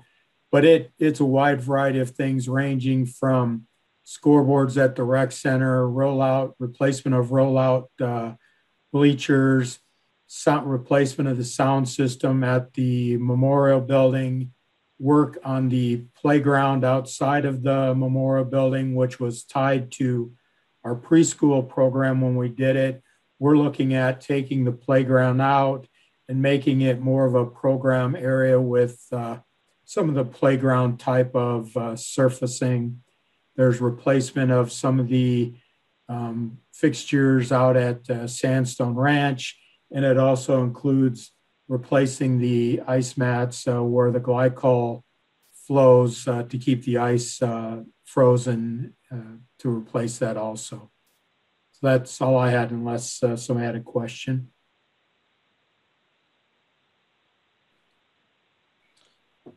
Okay, Okay, Aurora. I'm sorry.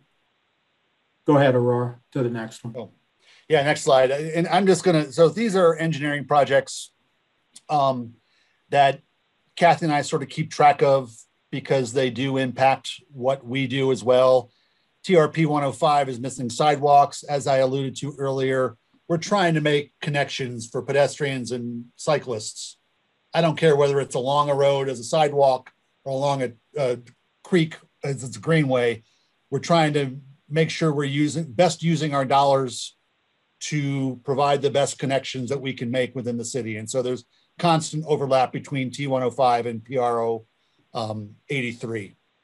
Next slide, Aurora. Um, this is the Boston Avenue Bridge over the St. Vrain River, just so you're aware of it. It is the, um, we are at about 60% design with this bridge. And this, uh, we just this week closed the underpass at Boston Avenue, um, right there by the Left Hand Brewery. That underpass will remain closed for a couple years now. Uh, with the, the there's a the next slide shows the RSVP project. The RSVP project is um, active downstream of that bridge, as well as upstream of that bridge with some utility relocation projects. We should be going out to bid uh, and starting construction in the fall of 21 for the Boston Avenue Bridge project. That should take about a year. So it'll be a year, year plus. So that it'll be late 22, early 23 before that underpass is opened again. But uh, natural resources staff is looking at those plans and making sure that we're going to be building back infrastructure that will allow for a safe trail um, underpass at that location. Next slide. Spring Gulch 2 drainage. Um, that I alluded to that earlier. That's the connection from Union Reservoir and County Road 26 down to Highway 119 and Sandstone Ranch. Uh, we're working, we have funds to um, finalize the design in 2021, hopefully, of that last phase. The most complicated part of that, which is an underpass underneath the uh, BNSF railroad there, just west of the Smuckers plant. Um, we had a meeting last week, and I think there was a general consensus among staff that this is one of the highest priorities for trail transportation projects within the city, uh, just to try to make that final connection from Northeast Longmont down to Sandstone Ranch and the St. Vrain Greenway. If you really, if you look at a map of the city and you look at the the way the greenways and the trails work, Northeast Longmont is really segmented. It does not have a lot of connectivity. So connecting this area of town out to Union, Sandstone, the St. Vrain Greenway, and back into town, or eventually east out to St. Vrain State Park, is really a, a, a very fantastic, exciting project to complete. And so we're hoping we we don't have the funding set up yet, but we're trying to. We'll be looking to prioritize that in the next year, two, three of uh, of the CIP. So as we bring the 2022 2026 CIP forward, you'll see where we end up with trying to fund that project. Hey, Steve, could I jump in real quick? Please. To please. point out that in that meeting, um, this is where our budgets get tight and that they really yeah, good point. talked about do we want to prioritize something like PRO 83 all of the connections, or do we want to really focus our resources and get this type of project done? So I just wanted you all to think about that in terms of how we fund things with limited funding availability. That's the give and take that we kind of have to really evaluate and could really use input on. Um, and and you know those surveys like Bicycle Longmont really help in, in that regard in submitting the CIP. But I really felt that pull when we really were, were, wanting to complete the Spring Gulch number two Greenway out to Sandstone. It's like, oh, well, we also want to do PRO 83. What do we do? Right. Fund it all. Do we do do we do that trail or do we not do any EMUCs or Oligarchy Trail or Dry Creek Trail? Or do we let that sit and do these other ones? And so that's, you know, those are the choices that we're always tasked with. And again, ultimately council makes that decision. But um, we value input from the public as well as the boards. Last slide, Aurora, is uh, RSVP, I believe, D39. Yeah. I think, I hope you're all up to speed on this. I'm happy to talk about this with any questions, but I think you're all aware of the efforts we're making along the river corridor. Um, just so you are aware, the Dickens Farm Nature Area project that um, last year won the American Public Works Association Colorado Chapter Award for large projects. Uh, we have submitted and hope to hear in April for a national APWA award for that project for the five to $20 million project. So um, I thought it was a pretty good application, a lot of help from a lot of different people outside and inside the city. And so we'll see, but hopefully we have some good, good news for the board in um, and for council and the public in May. Rory, next slide.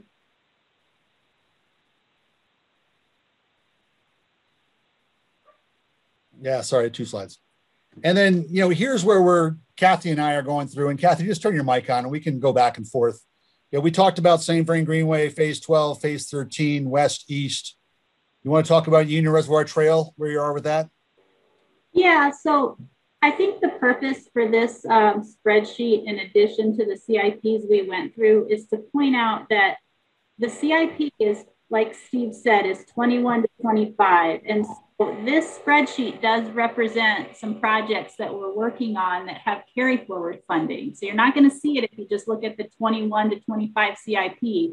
But really, these are on our work plan this year because there's carry forward funding. So the Union Reservoir Trail is one of those that's I haven't started it yet because I'm still, I've got about three park renewal projects that are a higher priority.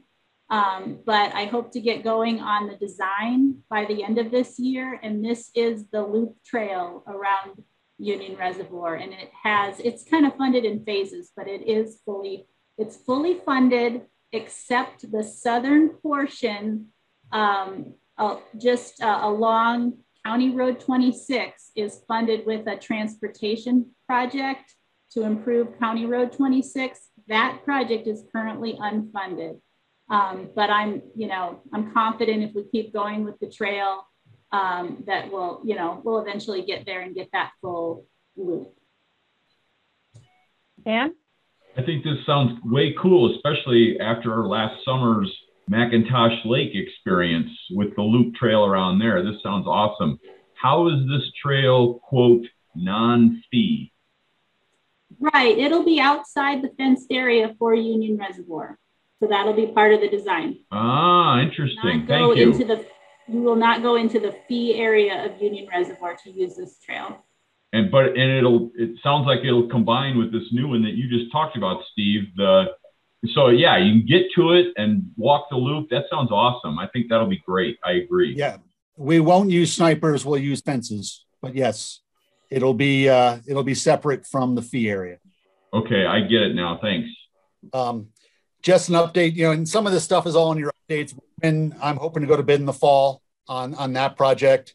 Sandstone Ranch Phase Four we talked about already, uh, as well as Dry Creek Fields.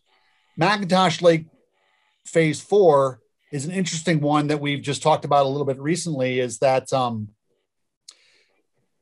th- this is a trailhead at sort of the southwest corner of the facility, off of 17th Avenue, west of Airport Road, if you can imagine. It's not a huge trailhead. It's probably 20 cars. It is, there's a trail connection up through the wetlands, a little boardwalk, then connecting to the trail that goes around McIntosh. It will necessitate a sidewalk. In, in retro, th- this was this is already designed. Paula designed this right before she left. She gave me the design documents.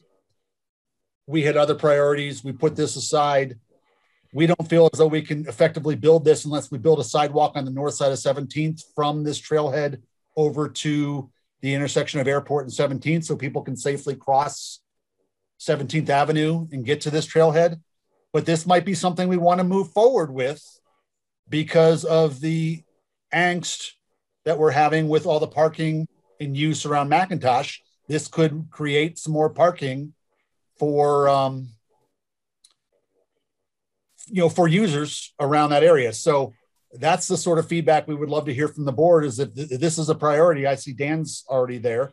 But um, this is the sort of thing that that that is we have a completed design 80% we need to design the last 20% of the trail connection on the north side of the the uh, the road there'll be some coordination with Boulder, Boulder county but it's something that could be done if the um, but right now it's not assigned to either of us it's just sitting, sort of sitting there.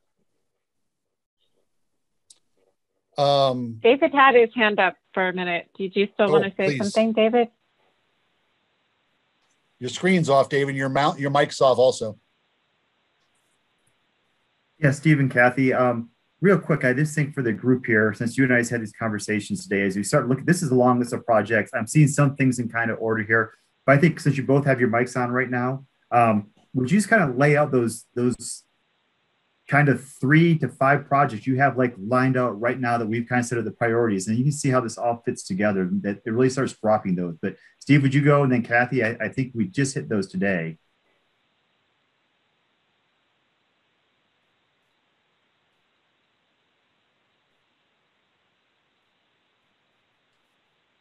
You want me to go first, Steve?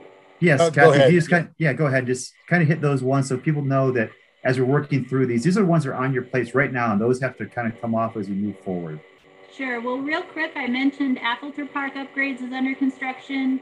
I'm working on Loomiller Park renewal, um, getting you know, getting it out and going. The Spangler Park Bridge replacement, and then the other two upcoming are the Union Reservoir Trail, and then we haven't talked about yet. Fox Meadows Neighborhood Park is fully funded with carry forward funds. So again, you didn't see that in all of our sheets, but that is on my work plan to get going on the design and public process, get it go, get it launched by the end of the year, and hopefully move through that design process and and get going on that. So those are kind of my five top priorities right now this year. And I'm And Steve, trying to finish the design of Workman and start construction on Workman, finish the land acquisition and start design on St. Vrain Greenway Phase 12, heading west to Airport Road and start construction, finish the design of Clover Meadows, and then depending on developer activity, if you remember, I need to have the developer to create the roads around the site before I can build it. Um, get that done and maybe start the construction there, prairie dog relocation from that site, and then just coordination with RSVP and, and other things. So, yeah, you're right, David. We didn't need to go through that whole other um, spreadsheet. And the reason I just did that again is that's where, as you start looking at long list of projects, I think Dan, you started this off saying you wish just putting stuff up there. These are all things that I, I think all have high value. Um, as a supervisor and just trying to be protector of my staff a little bit, that list to me is just overwhelming what Steve and Kathy have in one year. Um, and I start throwing other stuff in there. If you feel pushback, it is probably for me. And just how, how do we do that with this staff um, to know that they have these other projects that are really out there that they know their supervisors saying we need to get these done. So I just wanted proud to kind of know what they really have on their plate as they're looking and enthusiastically looking at all these other upcoming projects.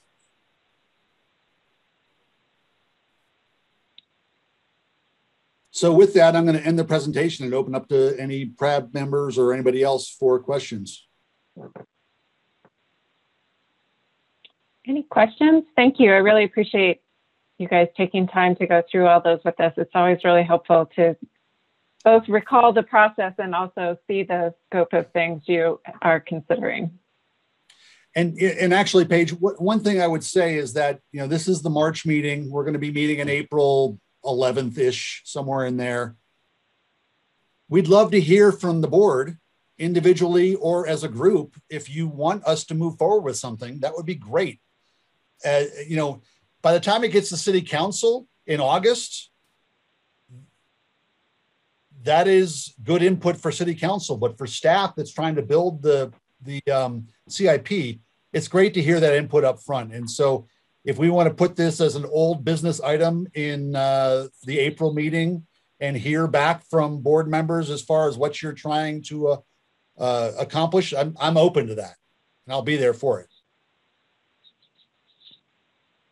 If I could just reiterate on that too, I think that the board weighing in and I was um, glad hear Mayor Pro Tem mention the fact that, you know, this comes up and there's other opportunities for the for council to hear this, but for us to start this conversation now is important because, um, again, as Steve knocks off all those projects on his list this year, um, Workman, South Clover Basin, um, St. Vrain 12, Prairie Dog relocations, we really have those conversations coming up.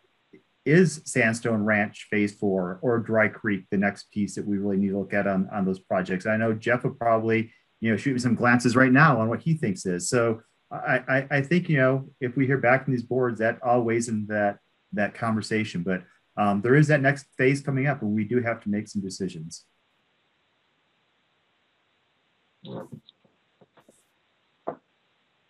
Great, uh, Sue. Just to be clear, you're saying you would like to hear what we wish you would prioritize, or just is that what you're saying for the next phase? Yeah, I'd, wishes, desires, whatever. Yeah, yeah. Down from a, a tennis backboard up to a rec center. Like, yeah, I, this is what this is the chance. We'd love to hear what you'd like to do. Oh, I was just going to say what I was going to suggest maybe to Jeff and David for our next conversation about the agenda for old business. I think it'd be great if board members could take a look at these and and identify if there's something that you feel we should consider recommending further action as a board. I mean, I think we're all free individually to communicate our preferences, but if you feel like there's something that we should prioritize or communicate a, a higher level of priority as a board, it'd be great to talk about that as an old business item um, at our next meeting. Another suggestion is also um, now that you've kind of heard the spiel and can absorb what you've heard today, is to maybe revisit your park rec- recreation and trails master plan and kind of think about what you heard tonight and think about whether you know you think we're in line with it or you think we're missing or we're getting off track or whatever but i know you know it's always good to kind of revisit those guiding documents and kind of look at you know how are we doing you know um, and, and are we on the right track from what because that's really the community's guide to us for this I think if you go collectively, that will be good rather than individually.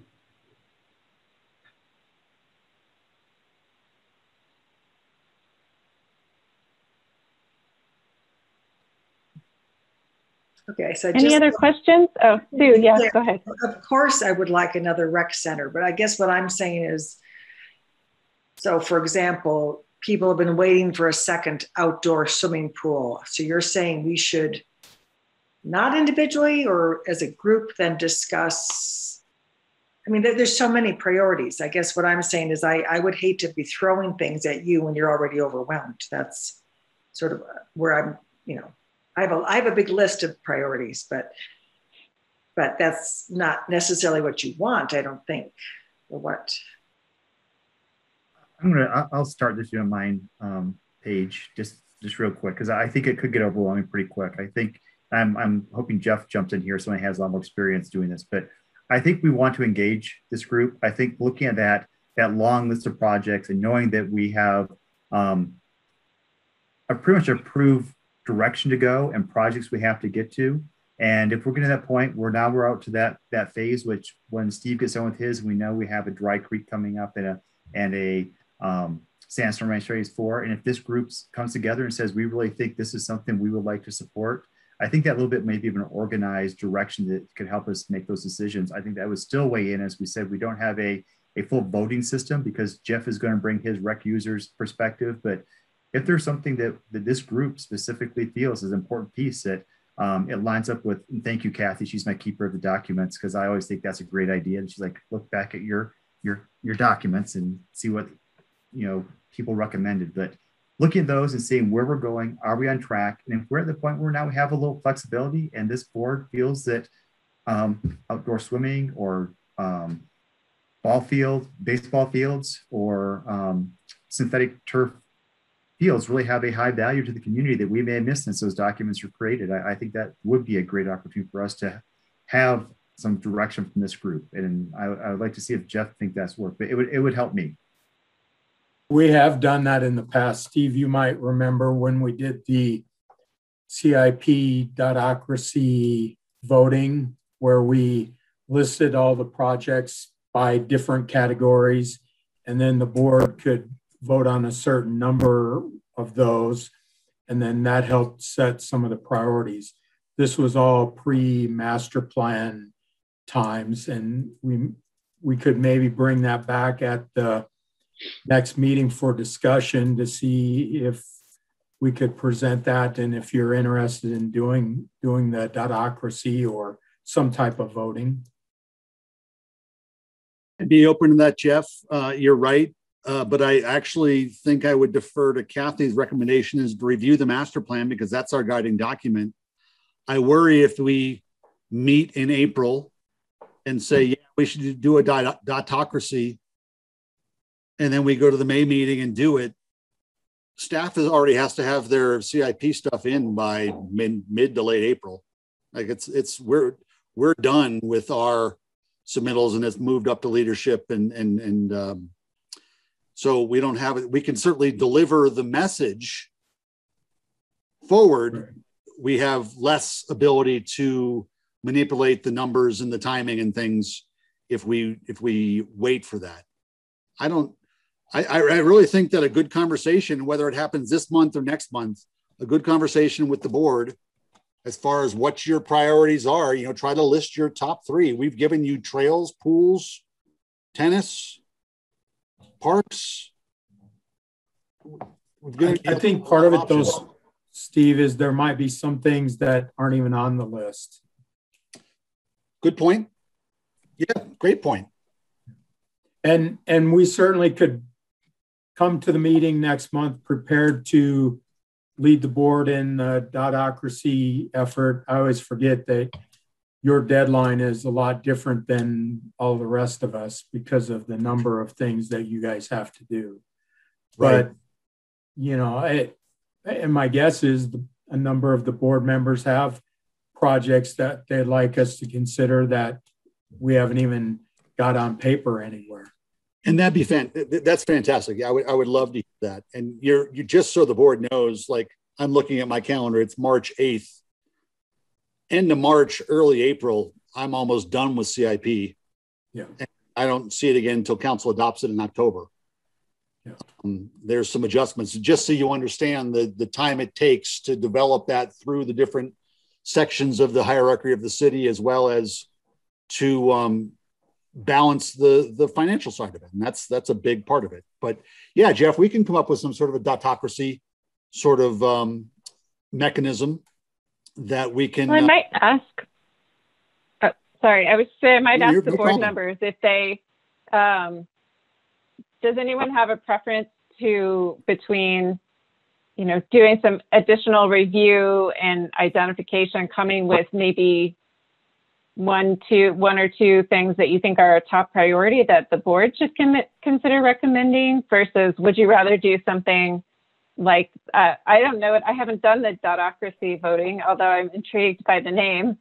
Um, but it sounds like more, you know, looking at the whole, a much longer list potentially, and voting um, some level of preferences that way. So, just asking the board members, which of those sounds like something you would like to spend your time on in April? Nicholas? Uh, yeah, thank you, Paige. So my my challenge here is that um, you know we're being asked for like open-ended feedback of what's on our mind. Really hard to do, obviously, and so a little bit of structure and uh, guidance on the types of questions that we want to answer would be helpful. And I think um, the I don't can't I'm not going to pretend to even know how to pronounce that word, uh, but some type of like you know. Uh, list of questions at a high level that we need to, to cover. And you know, I think it, was helpful to go through the the information in the packet, but a lot of the the good juicy stuff that I really learned from the most was, uh, you know, things that Steve you had voiced over while discussing each of those items. And so, um, you know, for example, um, you know, the Montgomery Farms land acquisition item, right? Like uh, we had this opportunity in front of us. Um, you know, I wouldn't have gotten that just by looking at the the packet itself. And so, I think I've I've said my piece. Hopefully that that that helps uh, and addresses your question, Paige. But uh, some structure would be would be helpful. and Paige and the board, I, I can just email me if you have questions and I'm happy to respond. I, I'm, this is what I do. I like doing it. So Just a reminder, email it only to Steve and David and I, not to the other board members.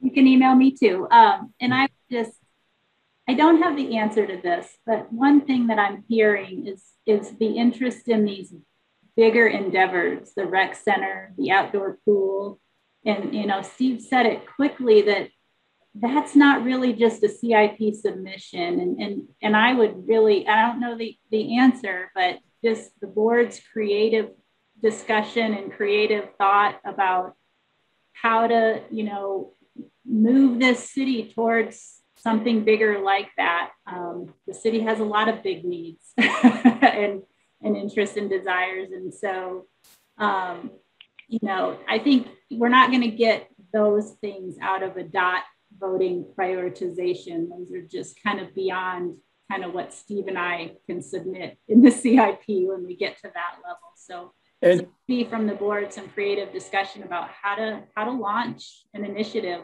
like that is kind of what I'm hearing from some of you anyway. Right. We have in, in May, the potential rec facility.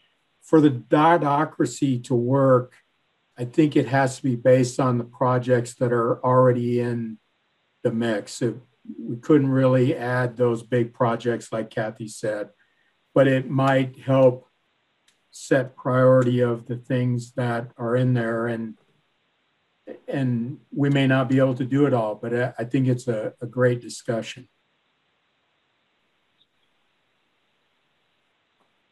Any other comments? So if I I'm mean, hearing, I'm also, oh, go ahead. I'm sorry, I was just gonna say, you would like a list of projects, and then that's sort of what that page 34 to 37 is. But with projects that are already funded, we can delete the projects that are already funded, add the projects that are out there in the five-year CIP, clarify where they are in the years, and then you guys could make recommendations based on that. And I'll just tell you, Dotocracy is not so fun digitally because usually when we did the rec center, I'll, I'll never forget this, uh, Quail Campus, we were doing the, the public process for the, the, the rec center. And there were people offering, because you know, there were people saying kids should not have dots and they're not taxpayers. There were people offering $5 for dots so they could add more dots to their thing. It was a, it was quite the scene. It was really, it was a really interesting process. So it, it's being digital, we could certainly deliver something, and maybe we can do it two weeks before your meeting to deliver something to you so you guys can think about it and figure out where your your your desires lie if that's something you want. Yeah, it seems like two different levels of conversation. So maybe there's a follow up at the next one that is more focused on um, do we have any differences of, of opinion from where the priorities lie right now about upcoming projects within the scope that you have presented? And so I think then we could look at your list and your time schedule and say, hey, we as a group feel like this piece is more important or needs to be moved up. But then I think the bigger conversation that you were articulating, Kathy, is something that we would um, talk about in May potentially based on our calendar. Um, it could be the rec facility, but it could be just more about what is that? Is there some bigger vision related to recreation, open space, trails that we as a board really want to advocate for?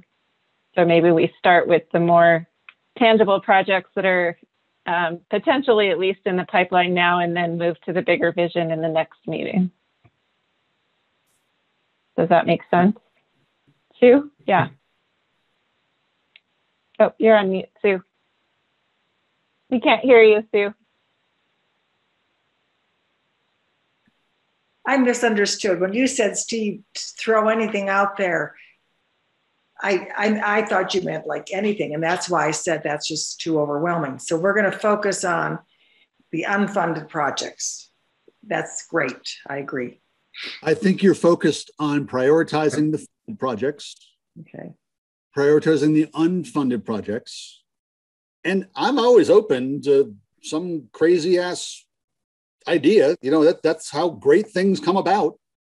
So yeah, you know, don't don't be shy.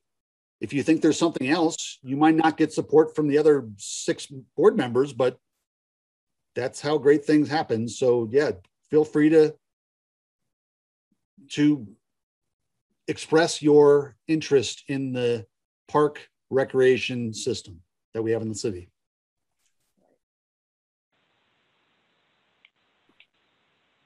Great. So Jeff and David and probably Steve, you two, maybe we can talk about the best way to structure that for the next meeting. And I do think it would be good to send something out a couple weeks in advance if we want people to respond at the meeting. I agree. I, I think Paige, you started putting together a little more organized way to have that conversation, and I think we, could, I think we can get it pulled together by that point. Great. Okay. Really interesting conversation. Anything else before we move on? I think we can cover B and C at that next meeting too, because we've kind of talked a little bit about it on and off, but the general process for both the CIP and I'll just do a quick quick summary and the general fund. Uh, like Steve said, by uh, the first part of May, the CIP process will be done and staff has to have all those submitted. By the end of May, we have to have all of our general fund requests submitted. From there, Generally, sometime in June, the city manager and the budget staff conduct a CIP meeting that talks about what they believe should be proposed as funded or unfunded. Uh, staff, that's our last real opportunity to give feedback uh, on that. Same thing in usually in July, we do uh, budget meetings with the city manager and the budget staff, each one of the departments come in and they explain why they believe they have, they need the things that they've requested. From there, staff is generally out of the discussion. Um, the budget staff, city manager, um, put together a proposed CIP and a, and a uh, budget that's presented sometime in August to the city council. City council normally does both CIP budget hearings and general or uh, operating budget uh, meetings in it that month. They conduct uh, two public meetings in October, and generally the last meeting in October or the first meeting in November, City Council makes the uh, approval of the budget for 22. Kind of a quick summary. And Thanks, Jeff. Paige, could I just add one more thing? Something that we're working on as staff is that we've seen a gap in approval for construction funds versus maintenance funds. We're trying to link the two. And so if you approve construction, you're approving maintenance dollars. So that's something that we, with our operations staff, are working toward, which will help with management of our park system in the future. I don't know, David, if you want to add to that at all, but that's something we've been talking a lot about. Thanks for bringing that up, Steve. I, I think it goes back. I think Scott made a point in his like the new shiny things that there's an assumption that if we build it, we're going to take care of it.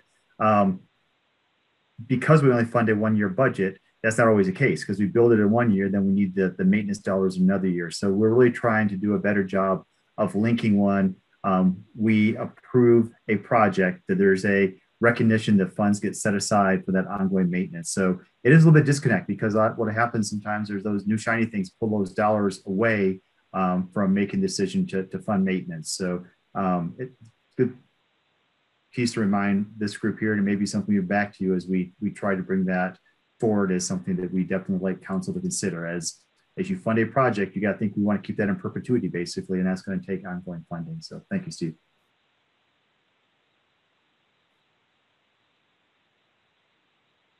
Okay, anything else on that topic? Okay, if not, I think we can move on to item seven, which is any discussion or questions that you might have from the updates that were included in the packet. So these are the updates from David's staff and Jeff's staff um, regarding uh, things that have happened since our last meeting. Any questions? Dan? I have a general question about the whole COVID color scheme, you know, stages we're changing to. Uh, for example, the swimming lanes, number of people, etc. Uh, tennis court doors are still locked open. What's the on you know what's going to happen, or what's the time scale, or you know who's discussing this, and how does it happen? I guess we are waiting for the next set of guidelines to come out your guess is as good as ours on what that means. Um, we have some general guidelines that we have now of what it looks like if we go to blue, but it doesn't go into the detail of how many people in the lane, any of that. It's the, the word we're hearing is that there may be a, a new dial coming out that might change everything that we've seen so far. So we were planning but on mm-hmm. hold too.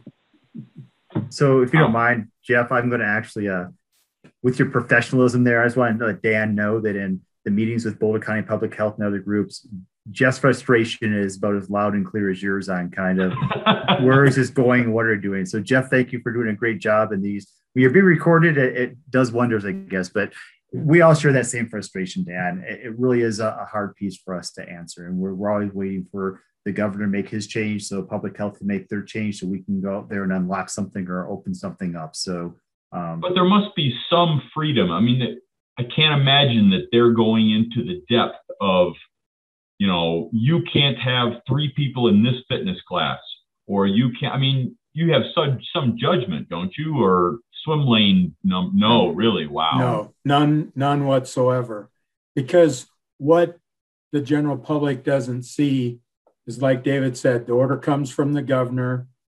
Colorado Public Health makes their interpretation. And then each one of the counties' public health put more meat on the bone, if you will, that they actually are telling us right now two people in a lane. They, if they receive complaints, they go to your facility and they check and verify if you're following the guidelines or not. So there really isn't a lot of uh, interpretation on our part. I'll just weigh in there that Jeff does a good job with this, as do do all the other facility managers along the front range, because it comes down really even more restrictive because they don't know the details of what Jeff does in his facilities.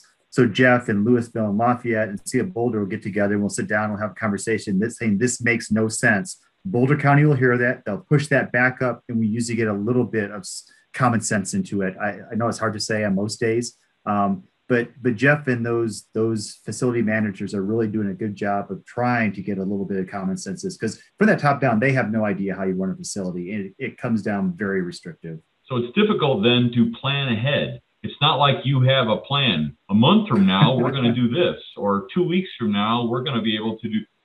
It's just react. Is that the impression I get?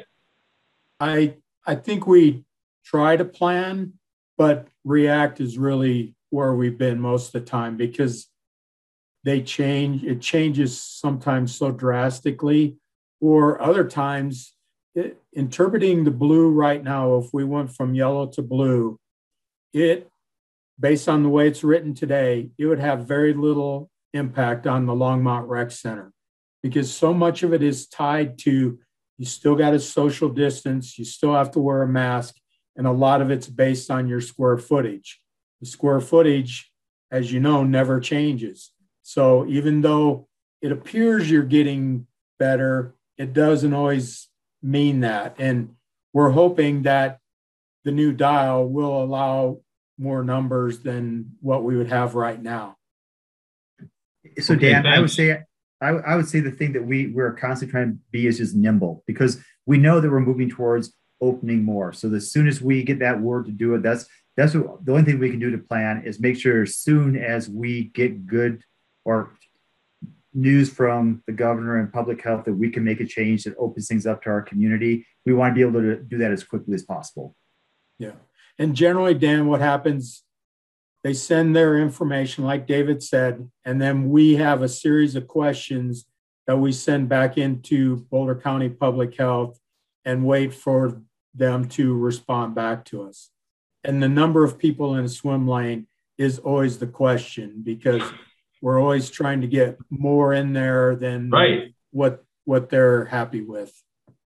Yeah, we still have one per lane, except yeah. for like a class like masters. Yeah, but I mean yeah, general that, rec.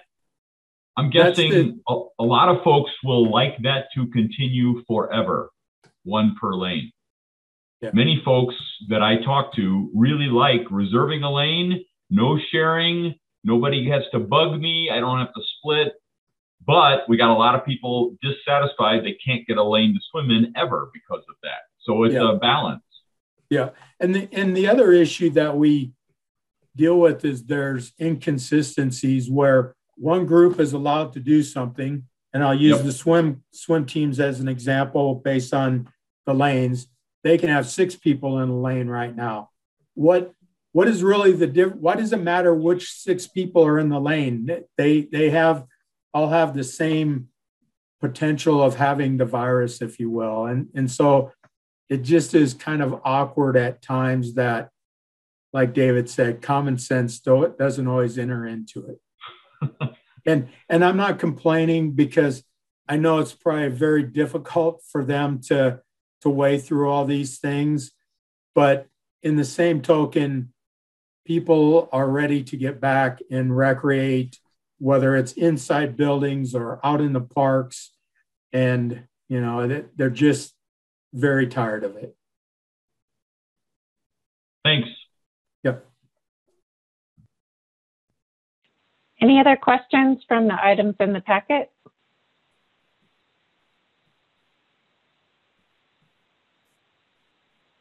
Great. Okay, then I think we can move on to items from staff. I don't have anything. David? I, I think we have spoke quite a bit tonight. So thank you for listening and engaging and being part of that conversation. Appreciate it. Great. Uh, any items from board members? Dan? Thank you all for listening to me so much tonight. I'll try to keep my mouth shut more. Sorry. Thanks. that was your item. Paige actually had a question. Scott, who did you share that information with from Wesco Longmont? And is there anybody else we need to reach out to with that um, information? Um, yeah, so uh, there was that one set of email, which was um, to you, um, to, to, this group for the most part, um, not this board, because as I understand it, I'm not supposed to send anything to the board um, from outside of the board. And um, and then um, we send another email to uh, city council. But if you want to share it to others, we're going to be putting it on the website um, soon and sending it out to people from Bicycle Longmont anyway. So, um, Scott, are you okay if, if David or I or Steve forward that to the rest of the board? No, feel free. That's okay. Fine. All right. We'll do that.